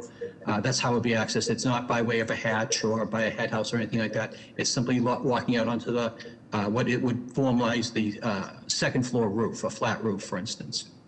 Okay. Uh, Any other questions from the board? Is anybody here to speak in support of this proposal? Good afternoon, Madam Chair, members of the board. Joe Coppinger with the Mayor's Office of Neighborhood Services. Would like to go on record in support of this proposal. The applicants have completed their community process. They were able to receive letters of support from abutters. Um, That being said, there was um, a little opposition in regards to the parking situation as well as the, uh, the scale of the, the property to the lot. Thank you. Madam Chair, Secretary, here, we have four letters of support and five letters of opposition. Madam Chair, I do have a raised hand from Kim McCormick. Kim, you've been unmuted. Can you state your name and address? Kim McCormick, 60 Hillock Street. Okay, Go ahead. Totally opposed to the idea. It's not conducive for the area. Thank you. Thank you. Okay, and I know that um, there was somebody else, uh, some other letters of opposition, but anyway, given that information, may I have a motion, please? I would like to make a motion to approve With uh, BPDA design review? with BPDA design review. I'll second that motion. Um, can we also look to have it just uh, reduced slightly in size? Because the units there, the buildings on that side of the street tend to be pretty modest, and these appear to be a lot of violations. So if through design review, it could be just kind of look to meld in more with the community? Is there a second? I think, Madam Chair, I think the, the violation is due to the siting of the building and the, and the site location. Yes, yes, I know. Um, yeah, okay. It's, Um, yeah, it's an unusual shaped lot, that's why. Yes, because it was kind of um, pulled together. It's a, it's a corner that's a steep downhill, um, and it's a steep uh, rear slope. It's a really awkward parcel. I mean, if it was, if it was in a one-family s- zoning district, um, you know, I would consider that, but it is a two F five thousand. The FAR is not excessive. Yeah, I'm not, um, I'm not asking, I'm not, I guess I'm not asking that it be changed from the number of units, but that, um, it be uh, modified a little bit to reduce the, req- the, the violations. Okay, so is there a second? Second. All those in favor? Aye. Aye. Aye. Any opposed? Motion carries. Calling the next case, calling BOA 116-0394, 39 Dustin Street. This is to confirm occupancy as an existing two-family, construct a new three-story addition with decks, and change occupancy from a two-family dwelling to a three-family dwelling.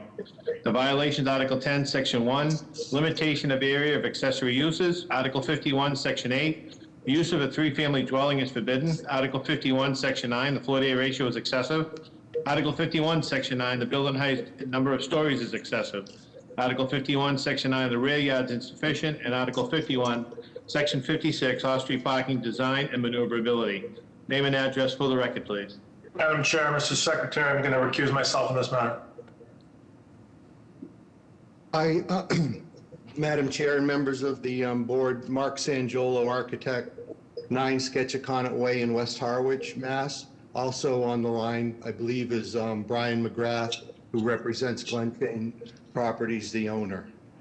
Uh, What we're seeking to do is uh, to add to an existing single-family home uh, in a 2F 5,000 district and try to uh, make it consistent with um, the character of the other houses on the street. It's a residential street. Dustin is a residential street that connects Cambridge Street with, um, I think it's, is it So I'm trying, I'm trying to understand, is this a one-family to a two-family or a two-family to a three-family? It's, wa- it was, it's a one-family, but it had an illegal uh, uh, second unit in it at one time, I believe. So you're, so basically you're trying to legalize it from a one-family to a two-family? No, we're trying to make it a three-family out of it, Madam Chair. Okay, so can you talk us through all the units? Sure. um, And their sizes, et cetera? Will do. It's, uh, we're basically adding to the right and to the rear of the existing house. And the units, they're three, three-bedroom units, and they range in size from 1,220 square feet to 1,370 square feet. Okay, um, uh, how are the plans, Ms. um, Better? The plans are adequate.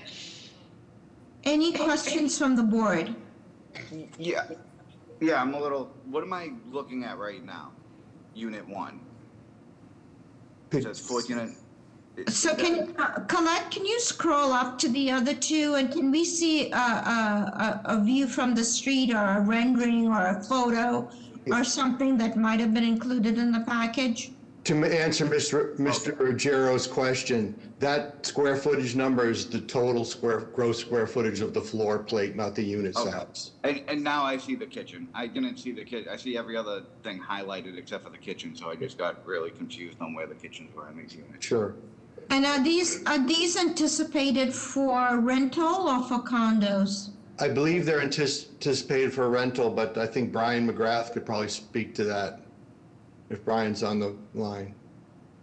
And who's the, and so are you proposing a dormer in there or is that already there?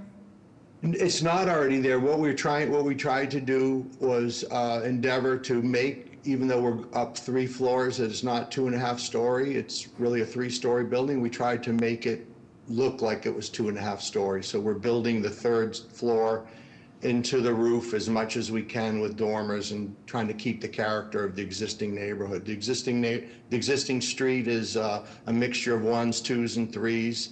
This side of the street um, backs up to um, uh, uh, the um, Sisters of um, St. Joseph. Of, yeah.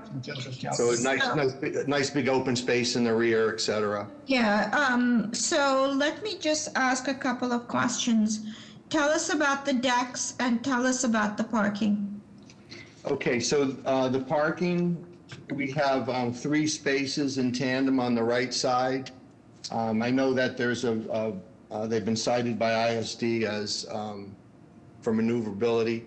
Um, I think you're finding that cars are getting smaller, et cetera. I like to get out in my car and actually see, measure stuff Okay, out. and see if okay, it's- Madam, Madam, Madam Chair, uh, Yep. just for the record, Mr. D'Amico has not seen the plans. I don't know if Ms. Barraza has seen them. I, I I have seen them, but uh, what was missing was a site plot plan. Yeah, that's what Mr. D'Amico was saying. So it's hard to access the parking situation. And has this address 39 Dustin come to this board before? No, this is, no, Madam Chair, this is the first time. Okay. Okay, um, and tell us about those decks. Yes, sure. The, um, there's a, about a, a deck off of each, um, unit in the rear. And, uh, the, the sizes are approximately, um, let me just get here, 14 by 6. Okay. Um, any other questions from the board? Is anybody here to speak in support of this proposal?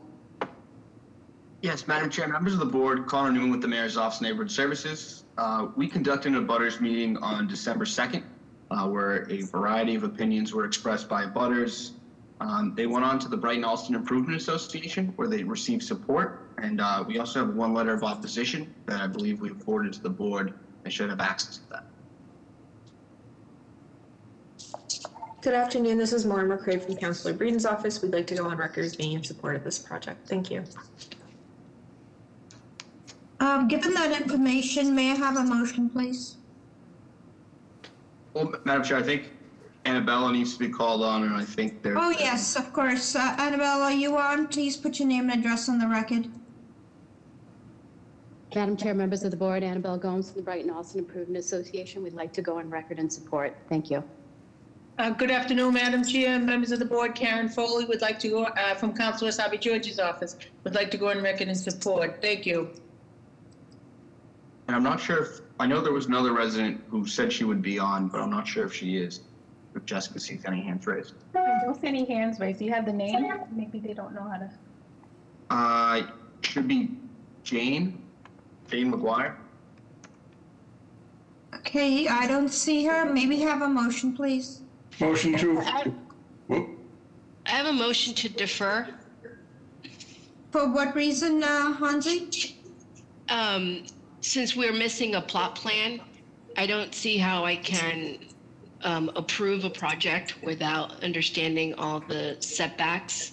Okay, And may I have a also- second? May I have a second? I'll second that, Secretary. All those in favor? Aye. Aye. Any opposed? Motion carries. The date, please? Yeah, Madam Chair, trying to get the date right now. Uh, we won't have a date till June 8th at 12:30. Okay. In the meantime, uh, let me find out if the applicant, uh, if Kyle Smith is ready to go, because I've been reminded that Mr. Erlich will need to. Madam be- Chair, before we do that, can I call, it's 12:40 right now, can, I'm going to call the 12:30s and get deferrals and withdrawals out of the way? Okay, but I just want to just find out if Mr. Smith, right after these deferrals, if we can get him on, because before Mr. Erlich has to leave at one. Okay, Madam Chair, go. we're we're ready to proceed, Madam Chair. Okay, so let's go through these deferrals and then we'll hear from you, okay? All right, I'm going to call the 12:30s for deferrals and withdrawals. That's it, the 12:30 only. Yes, Mr. Mr. Secretary. Address? Eric, 12 Rock Hill Road, 29 Rock Hill Road. Okay, thank you. For the record, calling BOA 106-8506, 12 Rock Hill Road. There is a companion case, BOA 106-8509, 29 Rock Hill Road. Name and address for the record, please. Good afternoon, Madam Chair, members of the board, Attorney Derek Small. This is just on 51 Dobson Road. We're seeking a deferral of this, of this matter at this time. Um, we need to go back and we need to, um, make sure that ISD sends the plans to the BPDA for their recommendation. Okay, Mr. Mr. uh, Counselor, um, this will likely be a last deferral then because, uh, we are trying to dispose of as many cases as we can. So may I have a motion, please? Madam Chair, i- it's Jeff Hampton at the BPDA. Uh, Just to echo what uh, Derek had said, um, we just hadn't received, we support this uh, last deferral uh, because we are looking forward to seek, to looking at these plans. So we support this. Okay, is there a second? Second. All those in favor? Aye. Any opposed? The date, please? You'll have a date of June 8th at 12:30. Thank you very much, Madam Chair, members of the board. Have a good day. You too. Are there any other deferrals or withdrawals for 1230? Address, See- please. Uh, 31 Wabon Street, Roxbury, Massachusetts.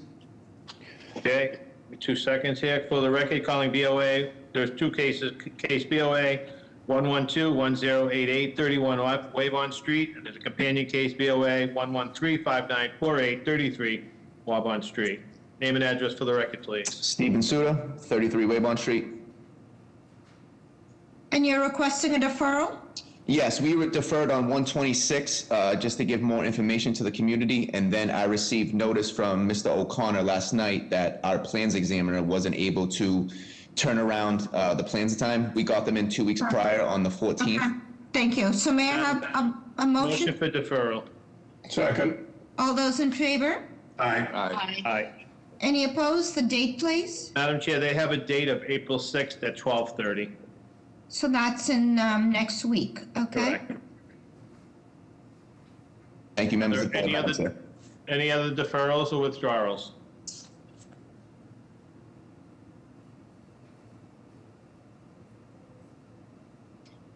Madam Chair, I know that um, Bunker Hill, 229, 231 Bunker Hill, with Mr. Mahoney is withdrawing. So I'm going to call it into the record. I know Mr. Mahoney was on earlier. I don't know if he's still on. Yep, hello? Yep, okay. I'm going to call in for the record, call- calling case BOA 104-8915, 229 to 231 Bunker Hill Street. Name and address for the record, please. It's uh, Patrick Mahoney with a business address of 160 Federal Street, and we- we are withdrawing, uh, seeking a withdrawal on this application. Madam Chair, I'll make a motion for deferral, uh, Madam, uh, motion for denial without prejudice, please. Second. All those in favor? Aye. Aye. Any opposed? Motion carries. It's been a long, it's been a long day, long morning. Thank you. Did we get 31 wave on? We did what on? Oh, Okay. So let's go back Is Wil- to, Madam Chair, is William Street on because they are also being deferred? uh, Yes, let's, this is Joe Federico, um, Madam Chair. hold on, hold on, let's just read into the record. Uh, For the record, case BOA 113-1644, 97 William Street. There is a companion case, BOA 111-6715, 99 William Street. Um, They're being deferred, so Ma- Madam Chair, I make a motion for deferral. Is there a second? I second. All those in favor? Aye. Any opposed? Motion carries. The date, Madam Chair, they please. have a date of April 27th at 12:30. Okay, Okay, so I'm going to go back to case BOA 11446, I'm 1146931, 3936 Washington Street. Name and address for the record, please. This is Rebecca Lee from Mintz Levin, uh, One Financial Center. hold on, uh, Rebecca, I think we're back to Washington Oh, Street. sorry, sorry. So I what saw we're going Commonwealth do- Avenue flag. Okay, so we are looking for Washington Street, we're looking for Kyle Smith.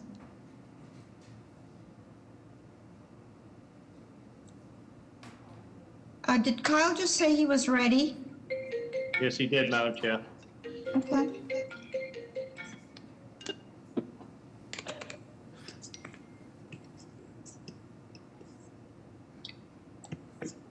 Madam Chair, we can, we can do Commonwealth Ave and then come back. No, it. he looks, he looks like he's here. Kyle, can you please put your name and address on the record?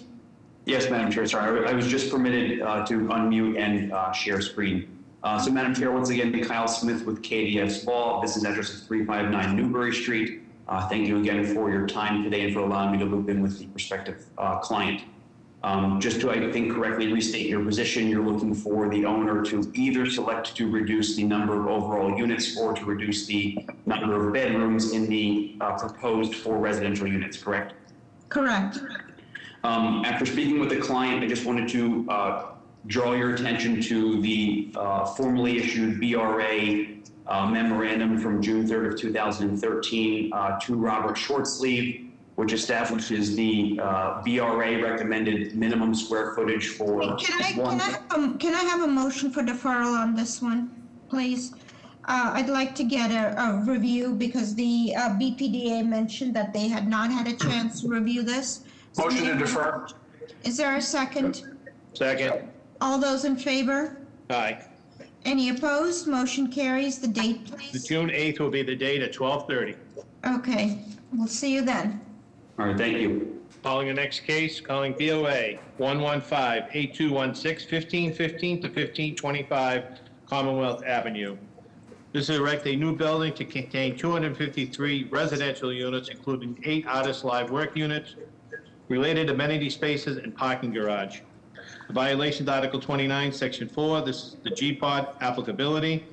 Article 6, Article 51, Section 8, artist live work use is forbidden. Article 51, Section 9, the additional lot area is insufficient. Article 51, Section 9, the floor to area ratio is excessive. Article 51, Section 9, the building height is excessive in stories.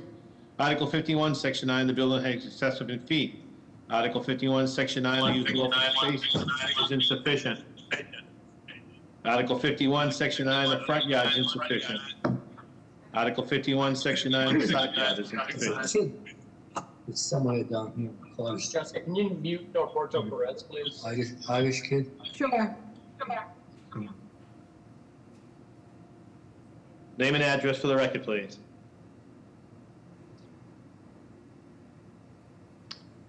That would- Go, And go ahead, affiliated with Rebecca. Davis. Good afternoon, Madam Chair and members of the board. My name is Stephen Davis. I'm a co-president with the Davis Companies. We are, uh, our, our address is 125 High Street, uh, Boston, Mass. 02110. Um, We are a uh, affiliate of the petitioner Div 1515 Commonwealth LLC. With me today is our permitting consultant, uh, Paul Barrett, as well as uh, Ruthie Coleman from Rhodey Architects, and our attorney, uh, Rebecca Lee from Mintz Levin, over to whom I'll turn over the presentation now. I'm here uh, uh, following the presentation to answer any questions. Thank you very much for your time and your consideration. Uh, Good afternoon, members of the commission. We're here, um, as you can see, on a number of fronts for variances required to build an approximately 245,000 square foot building, single building, uh, to contain 253 rental apartments and condominiums in an MF1 um, district. Um, A portion of the site along the Commonwealth Avenue West Carriage Road is within the GPOD. Um, And uh, the uh, variations are shown on this chart. If we could leave this chart up there. Um, Thank you. Uh, You can see the various counts on which we are looking for uh, zoning relief. Um, This project has been through a relatively extensive uh, community process, and I will let Ruthie Kuhlman from um, Rhodey Architects walk you through the project design. And we're happy, of course, to answer any questions of the board.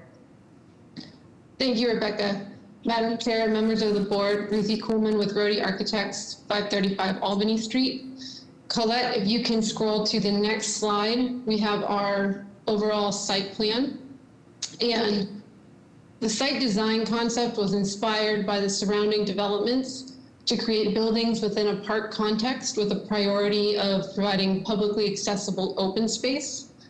So you can see here, um, the massing moves of this project are responsive to the dimensional requirements of the site. We have the rental component on the left and the condominium component on the right side of the plan. Um, So please tell us how many rentals and how many condos? Yes, so for the rental units, we have 151 units, range of studios to two beds. And I can give you the count. Yes, please give us the breakdown.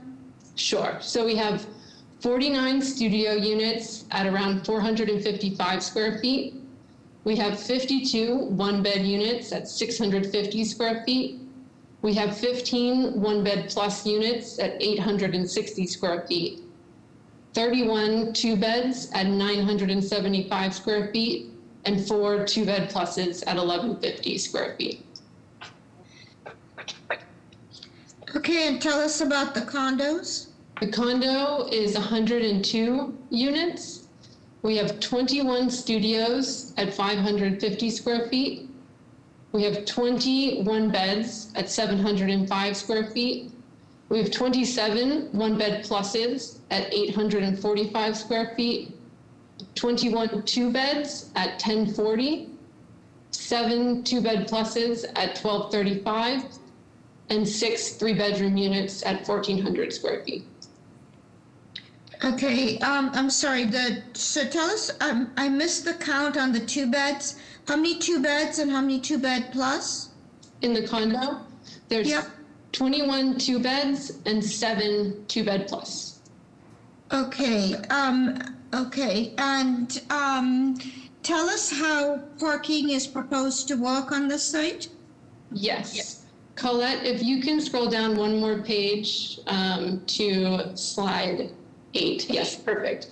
So one of the components of this site is that it was historically a granite quarry. So there's a large change in topography across the site. So this is the level one floor plan that you can see here, where the center of the site in gray is above grade, uh, whereas we're at level one on both the north and south edges of the site. The north edge drops off very far, um, 20 feet down. So the parking access is at one of the points where the site connects to the street level at level one. So you can see it with the condo lobby on the right and the rental lobby on the left. So all vehicular access comes in through this entry. We have loading bays with two truck spaces for the rental and one for the condo with direct connections to the building elevators, all concealed immediately within the entry. And then we have the, all the resident parking. We have 100 spaces approximately for the condominium located behind the condominium lobby. And then as you drive up, the parking slopes up over the ledge to level two, where we have approximately 60 spaces for the rental connected directly to the rental lobby. And is this going to be a LEED building, LEED certified building? It is. We are looking to achieve LEED Silver certifiable. And tell us about the Artist Live Workspace. Yes, so you can see here on the left side of the plan surrounding the rental lobby, we have the Artist Live units um, running along the edge at grade at level one. And then we have a dedicated artist workspace, which is connected off of the lobby, which will have space for the eight artist units to each have their own open dedicated workspace, as well as communal sink and additional ventilation for activities that need to be enclosed outside of the artist's open workspace. And the units are, are they studios or one bedrooms? So we have one, one two bedroom unit, two one bedrooms, and five studios. Okay, and tell us about the affordability in this building? I will pass this over to Stephen Davis to respond to this question. Sure, happy to do so. So there's a total of 16% IDP uh, across both components of this project. Starting first just with the apartments, we have 17% on site for 25 total units. Um, There's a range of AMIs starting at the bottom at 50% and ranging up to 120. Um, And then on the condominium side, we have 14% on site uh, for 14 uh, condos there. Um, Those are split uh, half and half between 80% and 100% AMI. In addition, we um, uh, made a $600,000 off-site contribution representing two additional units to fund a uh, a project being redeveloped by the Allston uh, Brighton uh, CDC on Quint Street. Um, It's it's a uh, it's a Yeah. subsidized, it's a supportive housing project um, that uh, that they're hoping to break ground on later this year. Okay, um, and there's no roof decks on this building, I assume?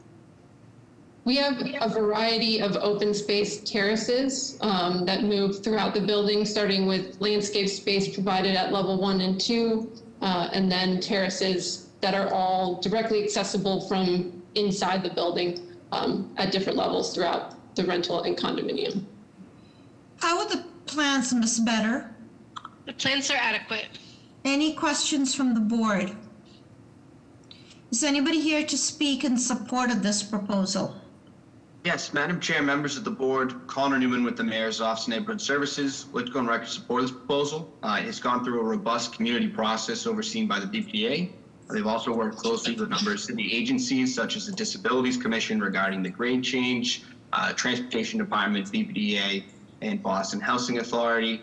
Um, We really appreciate their commitment to increase affordability, um, to bring home home ownership opportunities to the Brighton area, as well as publicly accessible open space. So uh, we think this is a great project, and we hope you'll consider it. Thank you. Good afternoon. This is Maura McCray from Councilor Breadon's office. We'd like to go on record as being in support of this project. We appreciate the proponents' um, proposal to include open space on site, their commitment to affordability both on and off site, and their inclusion of artist studios on site. Thank you. Hi, Annabella, you can un- unmute yourself. Madam Chair, members of the board, Annabelle Gomes from the Brighton Allston Improvement Association. We'd like to go on record in support. And um, I also served as an IAG member on this project, and uh, the IAG is very much in favor of the project moving forward. Thank you. Good afternoon, Madam Chair, members of the board. Karen Foley, Councilor Essaibi George's office, would like to go on record in support. Thank you. Madam Chair, I have no additional raised hands. May I have a motion, please? Motion to approve BPDA design review. A second. Second. All those in favor? Aye. Any opposed? Motion carries. Madam Chair, I, I need to leave at this time. Thank you so much. See you next week. Thank you. Madam Chair, we're going to see if Kelly Logue is, um, Kerry, I'm sorry. I'm here. Carrie, are you on? I am. Okay, excellent. Great to see you. Haven't seen to you see in a you as while. well. Yeah. Carrie, we have a whole new team here, so you'll get to know them over time, but let's go on with our cases here.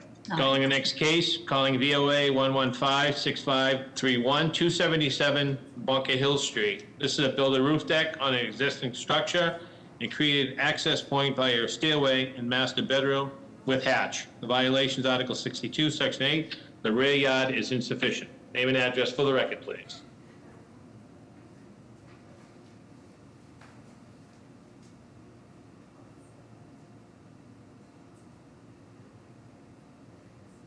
Nicholas is on one second. Nicholas, you've been unmuted. Can you state your name and address? Yeah, Nicholas Mandonis, property owner, 277 Bunker Hill Street, uh, unit. And my architect, Peter Lewandowski, is on as well. So please tell us what's being proposed. Essentially, um, in the existing structure, we would like to have a roof deck built on top of our existing roof um, with an access uh, with a staircase through our bedroom. That would be an access point with a roof hatch um, to the yep to the to the back slope, uh, rear slope of our of our property. Um, Okay, hold on a minute. Uh, Sure. Ms. Better, how are the plans? The plans are okay. Any questions from the board? Is anybody here to speak in support of this proposal? Good afternoon, Madam Chair, members of the board. Joe Coppinger with the Mayor's Office of Neighborhood Services. We'd like to go on record in support of this proposal. Thank you. Good afternoon, Madam Chair, members of the board. Uh, Ricardo Patron from the Office of City Councilor Lydia Edwards. The council would also like to go on the record in support. Good afternoon, Madam Chair, members of the board. Karen Foley, Councilor Annissa Essaibi George's office, would like to go on record in support. Thank you. Madam Chair, I have no raised hands. Okay, may I have a motion, please? Madam Chair, I would like to have, to make a motion to approve with BPDA design review to look specifically at the setback of the roof to remove it from public view. Okay, is there a second? I'll second that motion. All those in favor? Aye. Aye. Any opposed? Motion carries. Calling the next case, calling BOA 115-7191, 54 Wyndham Road. This is a six by nine foot mudroom, would be added to the driveway side of the house, as well as a portico roof above the front door. The violation is Article 69, Section 9, the front yard is insufficient, and Article 69, Section 9, the side yard is insufficient. Name and address for the record, please.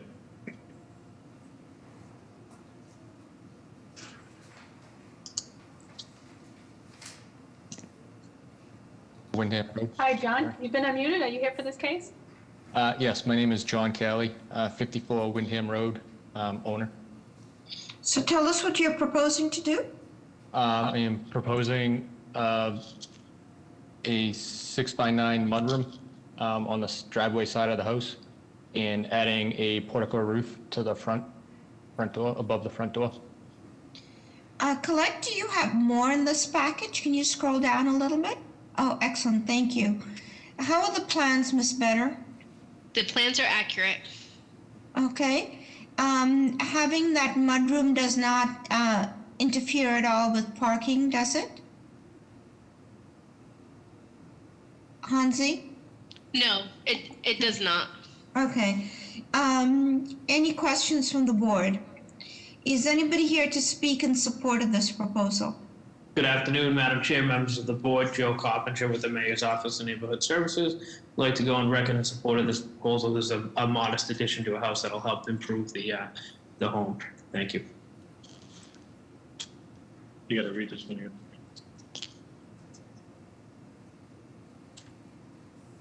Madam Chair, I have no additional raised hand. May I have a motion, please? I'd like to make a motion to approve. It is a very modest addition. I'll second that motion. All those in favor? Aye. Any opposed? Motion carries. Good luck. Thank you very much. Calling the next two cases. Miss Ambassador, can you mute everybody, please? Um, but to Mr. Connors, um,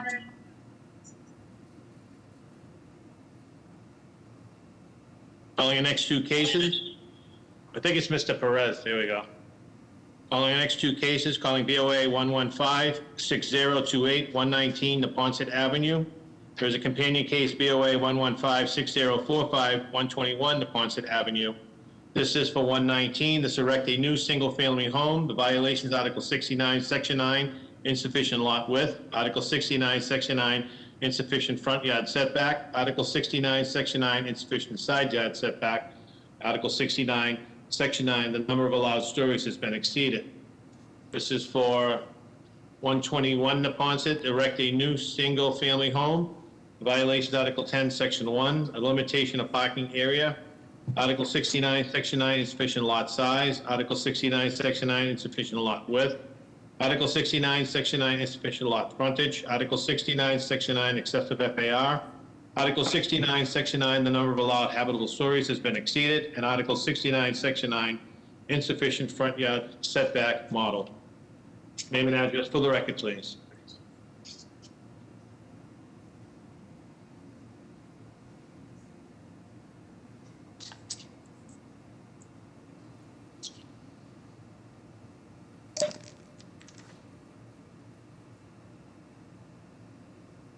Is the caller on for, for this project?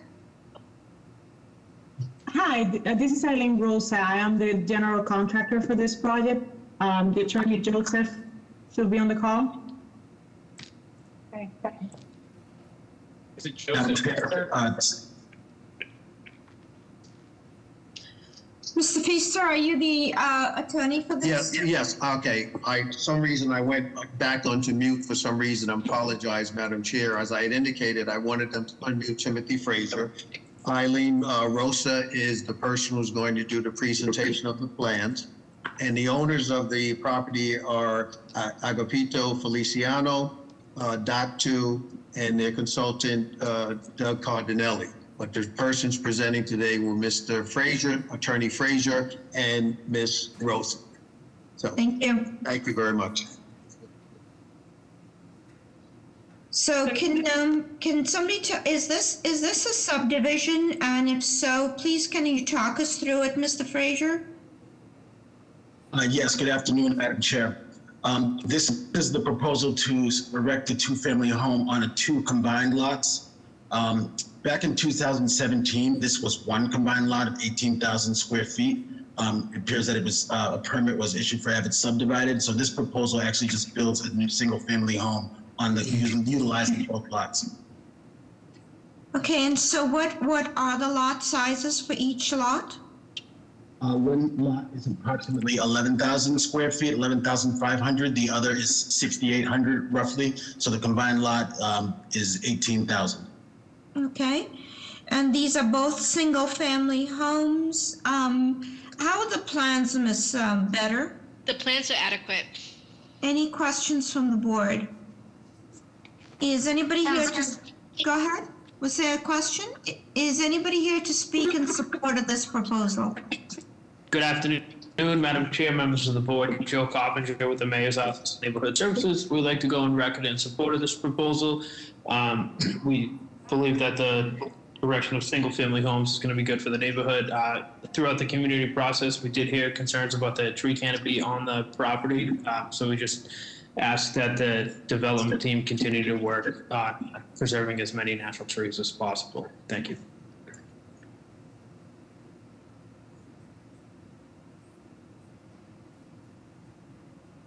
Madam Chair, we have one letter of opposition. And Madam Chair, I see no additional raised hands. Okay. Um, Ms. Better, is there any occupancy in the basement? No, it's currently at um, storage, mechanical systems. Okay, may I have a motion, please? I'd like to make a motion to approve with BPDA design review. Second. All those in favor? Aye. Aye. Aye. Any opposed? Motion carries. Thank you very much. Good luck. Calling the next case, calling BOA 116-3324, 235 to 259 Independence Drive. This is a change of occupancy from 13 apartments to 13 apartments with real estate leasing office and install a new walkway awning. The violation is Article 56, Section 7.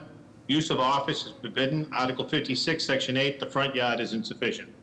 Name and address for the record, please.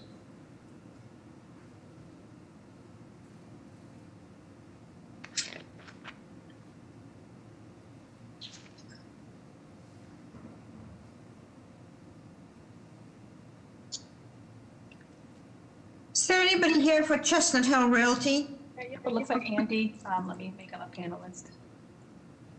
Oh, Andy, you've been unmuted. Can you state your name and address? Hi, thank you very much. Uh, Andy Martineau uh, for Chestnut Hill Realty, 300 Independence Drive. Um, Thank you very much for taking the time this afternoon to meet with me.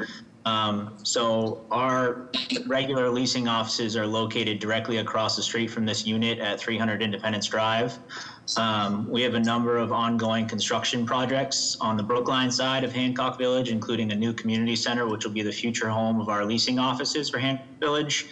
Uh, So given the impacts of the construction, what we did is temporarily convert our leasing offices at 300 Independence Drive into additional amenity space for those residents that are by the and a, a quiet place to have a meeting or just to escape some of the construction during the daytime hours. Um, and in order to maintain some leasing offices at the property, uh, we'd like to temporarily convert uh, the unit that's immediately across Independence Drive, uh, adjacent to the Harvard Vanguard Medical Office, uh, into leasing offices on a temporary basis, including this awning sign that you see before you um, while the community center is uh, constructed. So, so this is the unit right abutting uh, Harvard Vanguard. It's that first unit there? Correct, yep. So one of the issues, one of the issues that we have related to visibility is it's very easy to miss. And so for those folks that are coming to visit the property, um, they often miss the leasing offices and have a hard time identifying. it. So the awning sign is intended to address that issue in particular. Uh, And it is handicapped accessible? Yep, there's a walkway. Um, Ms. Better, how are the plans? The plans are okay. Um, I have a, a question for you. You, you're asking for an added use of uh, an office. Do you have drawings of that?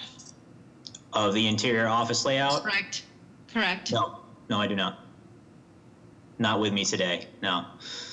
And how long, how long do you perceive that temporary is going to be?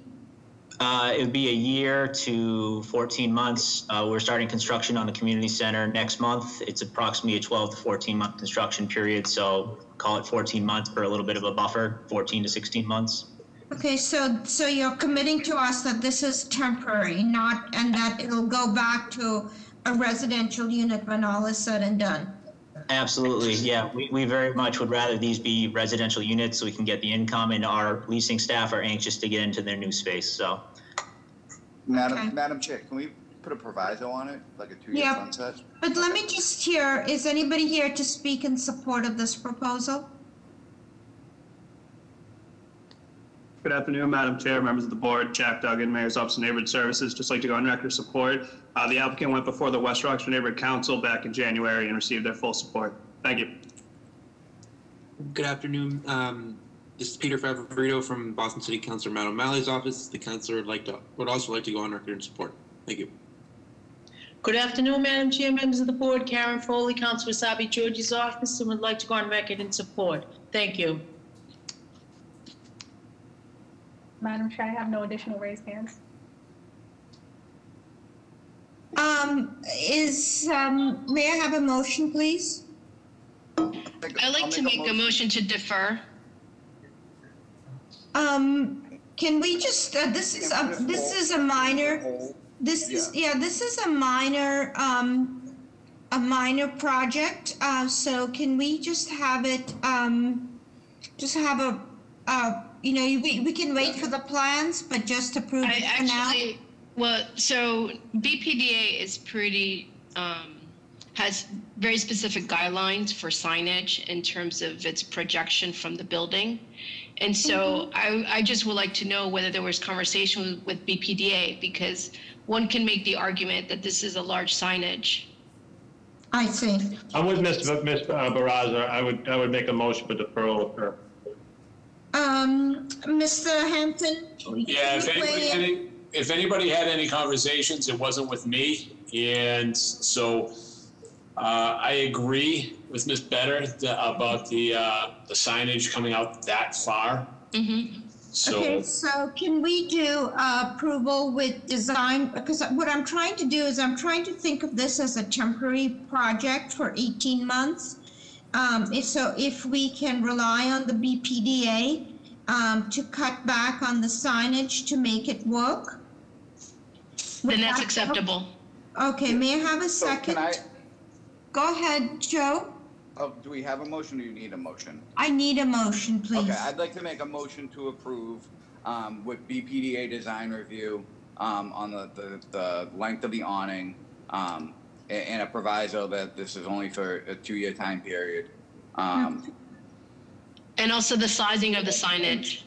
Okay, is there a second? Yeah, I'll second that. All those in favor? Aye. Aye. Any opposed? Motion carries. so also, just for the record, this is also one of those cases where we received no information from ISD. Yes. It's tough being in two different buildings in COVID times. Calling the next, Anytime. calling the next two cases. Calling BOA 101-9225, 16 Cottage Street. There is a companion case, BOA 101-9227, 18 Cottage Street. This is for 16. This is to add a rear addition, a four-story addition, and a roof deck. The violation is Article 27T-5. This is in the East Boston IPOD. Article 53, Section 9, the number of allowed stories has been exceeded. Article 53, Section 9, the maximum allowed height has been exceeded. Article 53, Section 9, excessive FAR. Article 53, Section 9, insufficient rear yard setback. Article 53, Section 52, roof structure restrictions.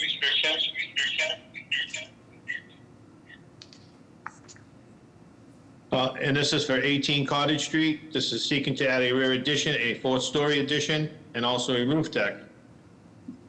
We have the same, Mr. Perez, please.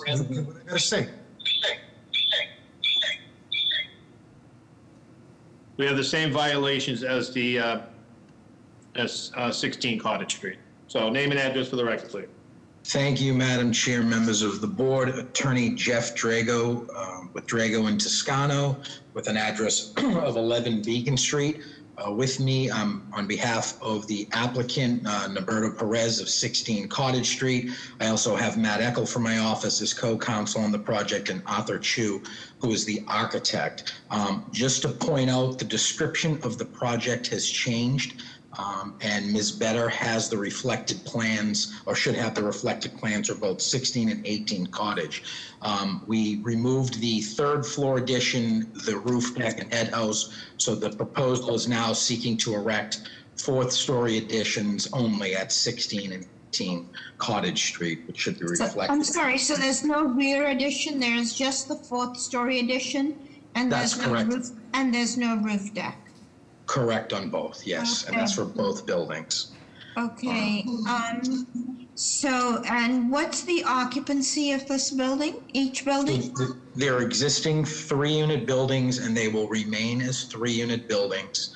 The uh, the top floor units as they exist right now um, are about 535 square feet. So we're proposing to add about 475 square feet on that fourth floor. So those would become duplex units, giving a little bit of extra room. And I can go through the floor plan, Madam Chair. and, yeah. No, I, and, um, are there, is there any occupancy in the basement? There is not. So the, uh, Okay, so these are duplex units, each will be about a thousand square feet. Okay, um, Ms. Better, how are the plans? Um, adequate, Madam Chair. Any questions from the board?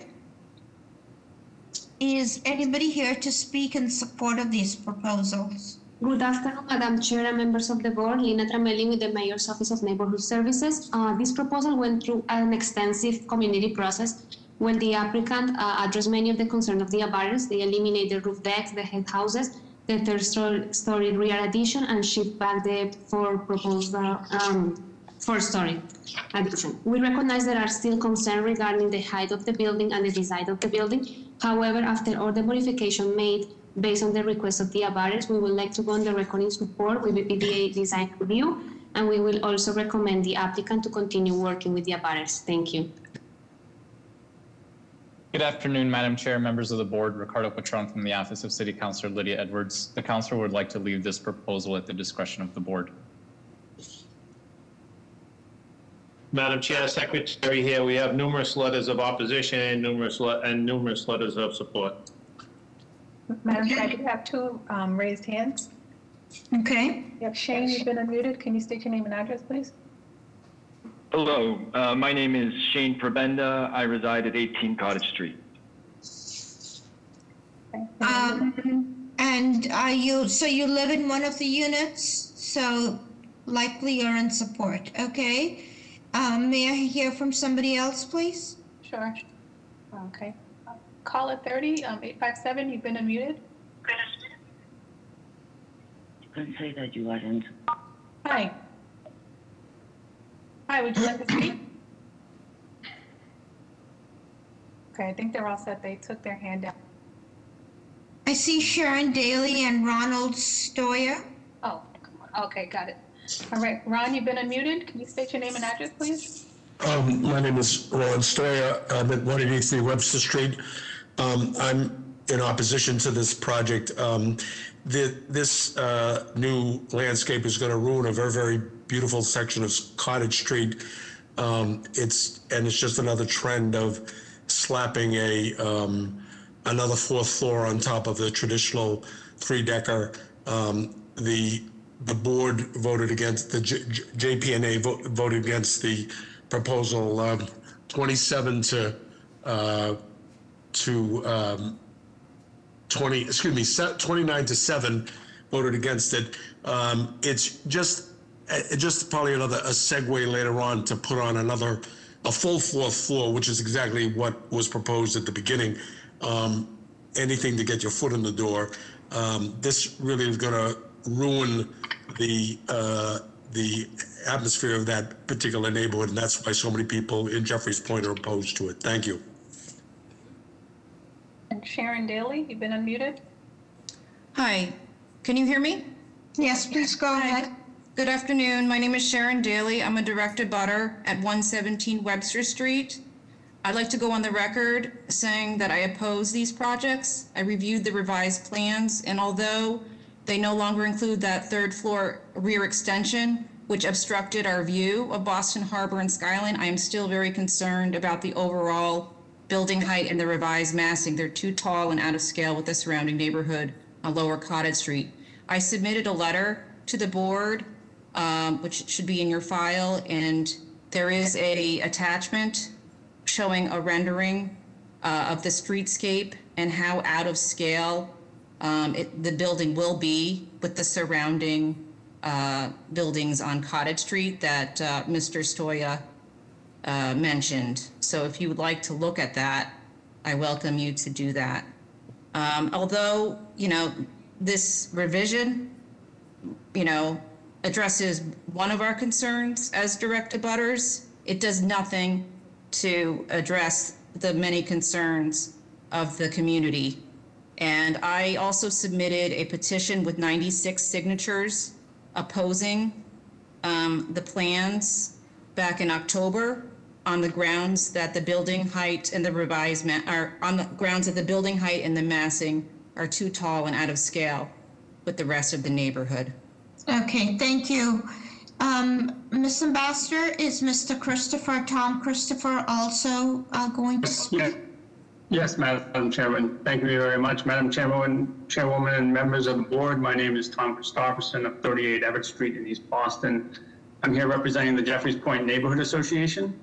Our uh, organization voted against this project with a vote of seven in favor, 29 opposed.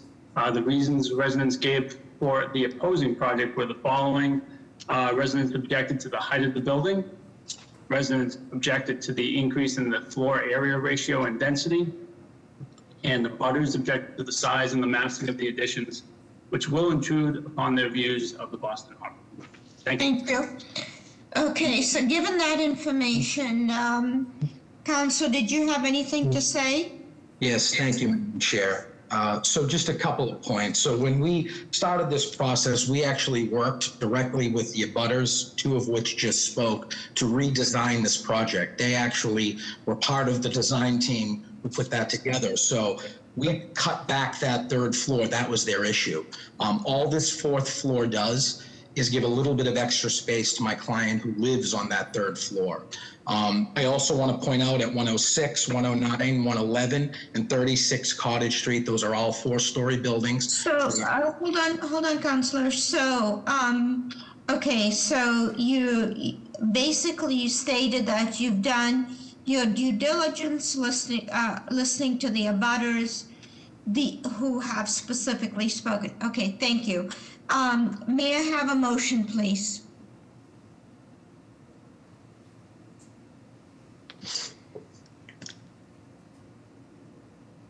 I'd like I'll to make, make I'll a, make a motion to approve a BPDA design review. I'll second that motion.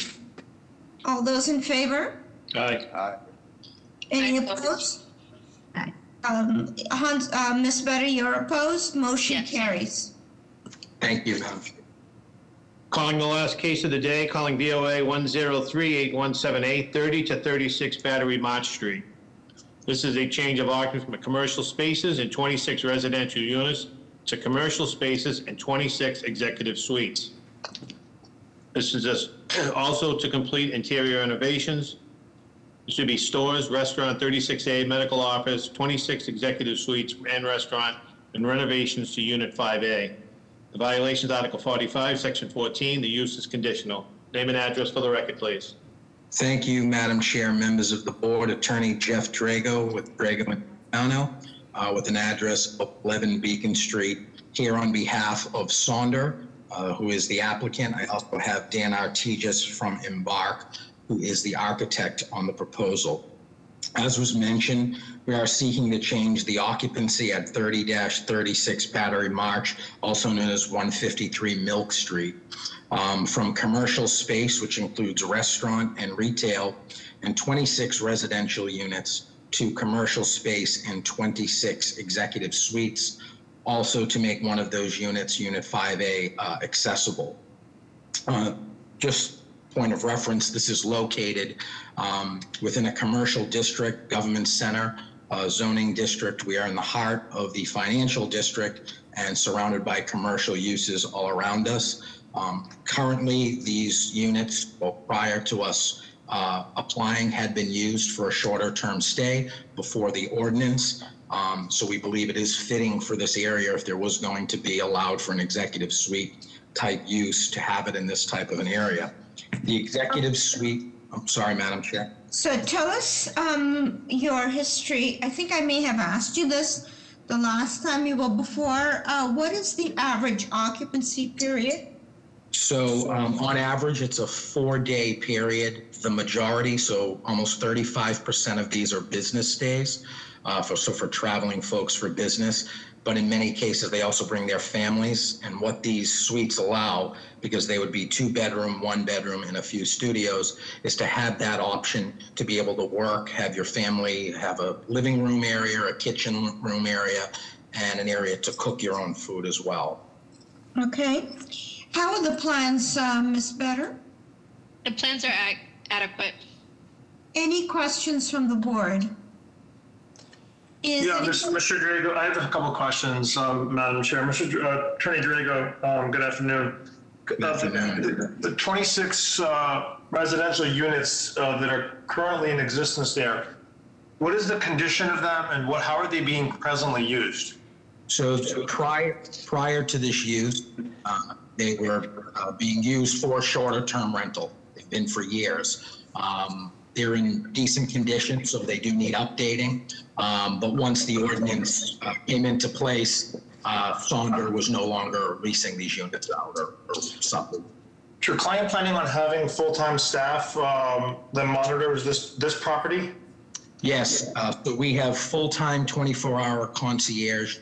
We have our Boston GM Greg Klein and his staff that are on call. We also have security patrol, noise monitors, uh, emergency numbers for them to reach. So it is a 24-hour operation. Sonder is one of the largest hospitality companies in the world. They're involved in eight different countries and through most states.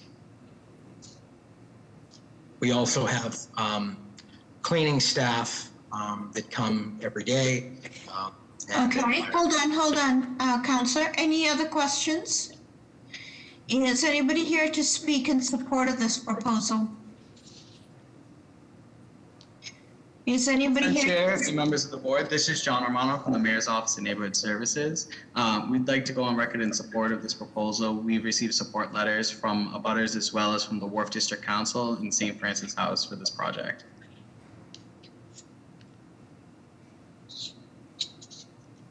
Madam Chair, Secretary here, we do have letters of support. We also have letters of opposition.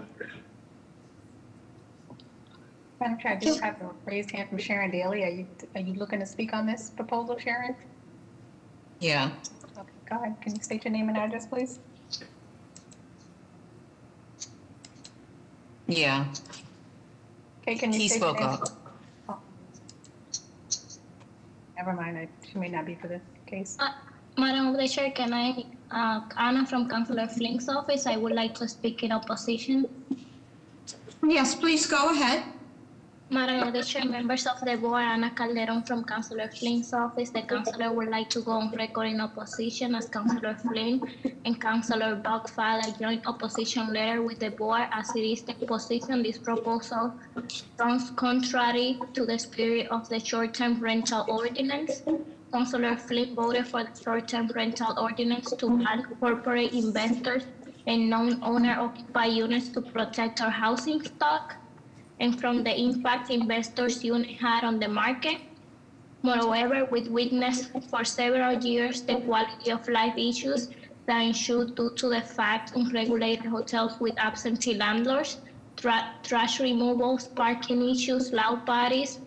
In the final analysis, it is Councillor Flynn's position that allowing large companies to convert to executive suites will run contrary to the ordinance and will not protect the city's housing stock in the midst of an affordable housing crisis. Thank you.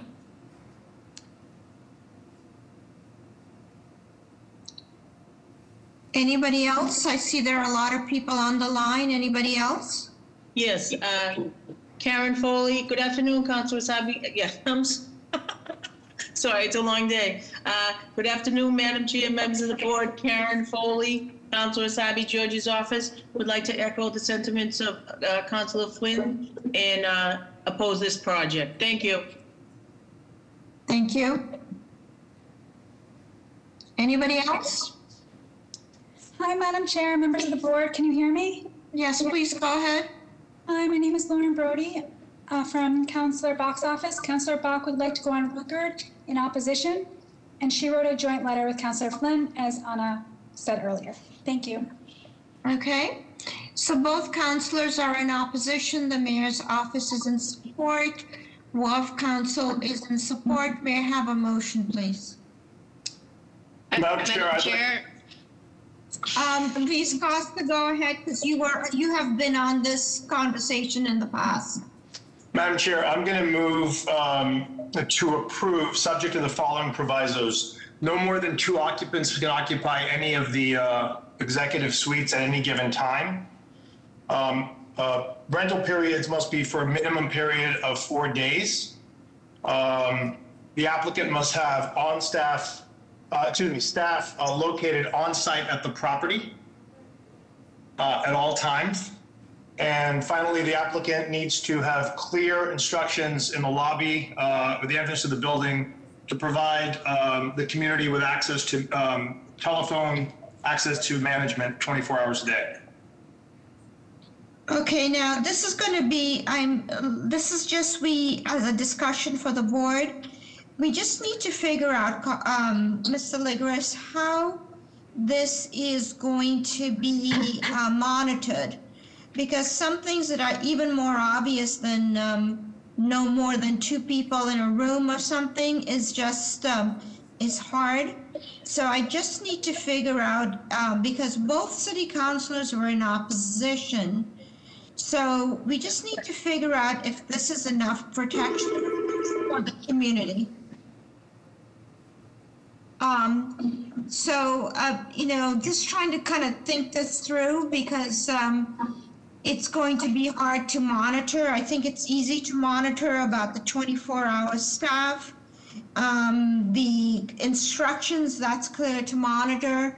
The thing that's going to be more difficult is the minimum of four days and the uh, occupancy per unit. Any thoughts, anybody else, or, or, or Mr. Ligris? We could ask the applicant to um, voluntarily uh, obtain an STR number with ISD. Um, So if I may, Ms. Legris, if it's okay to speak? Go ahead. Go ahead, So- Mr. Rodrigo. So they actually have a ERT number if you're approved for executive suite, separate from the short-term number for a short-term rental. Um, So we would apply for an ERT number that would be in the record. Um, I I could also uh, come back to the board if that would please the board to see like in a year, if that would make sense to see how some of these provisos are working. I, I know the board has done that, Madam Chair, in the past. I don't know if that's something the board might want to entertain, but Yeah, thank you, Attorney Rodrigo. Ma- Madam Chair, the, the purpose behind having um, on-site uh, staff is to monitor the number of occupants. The, the staff and the, and the clear instructions, I'm perfectly fine with. I think that's easy. The part that's more difficult is um, the, the occupancy for four, a minimum of four days and uh, no more than you said, two people per room or something. I think that's more difficult to monitor.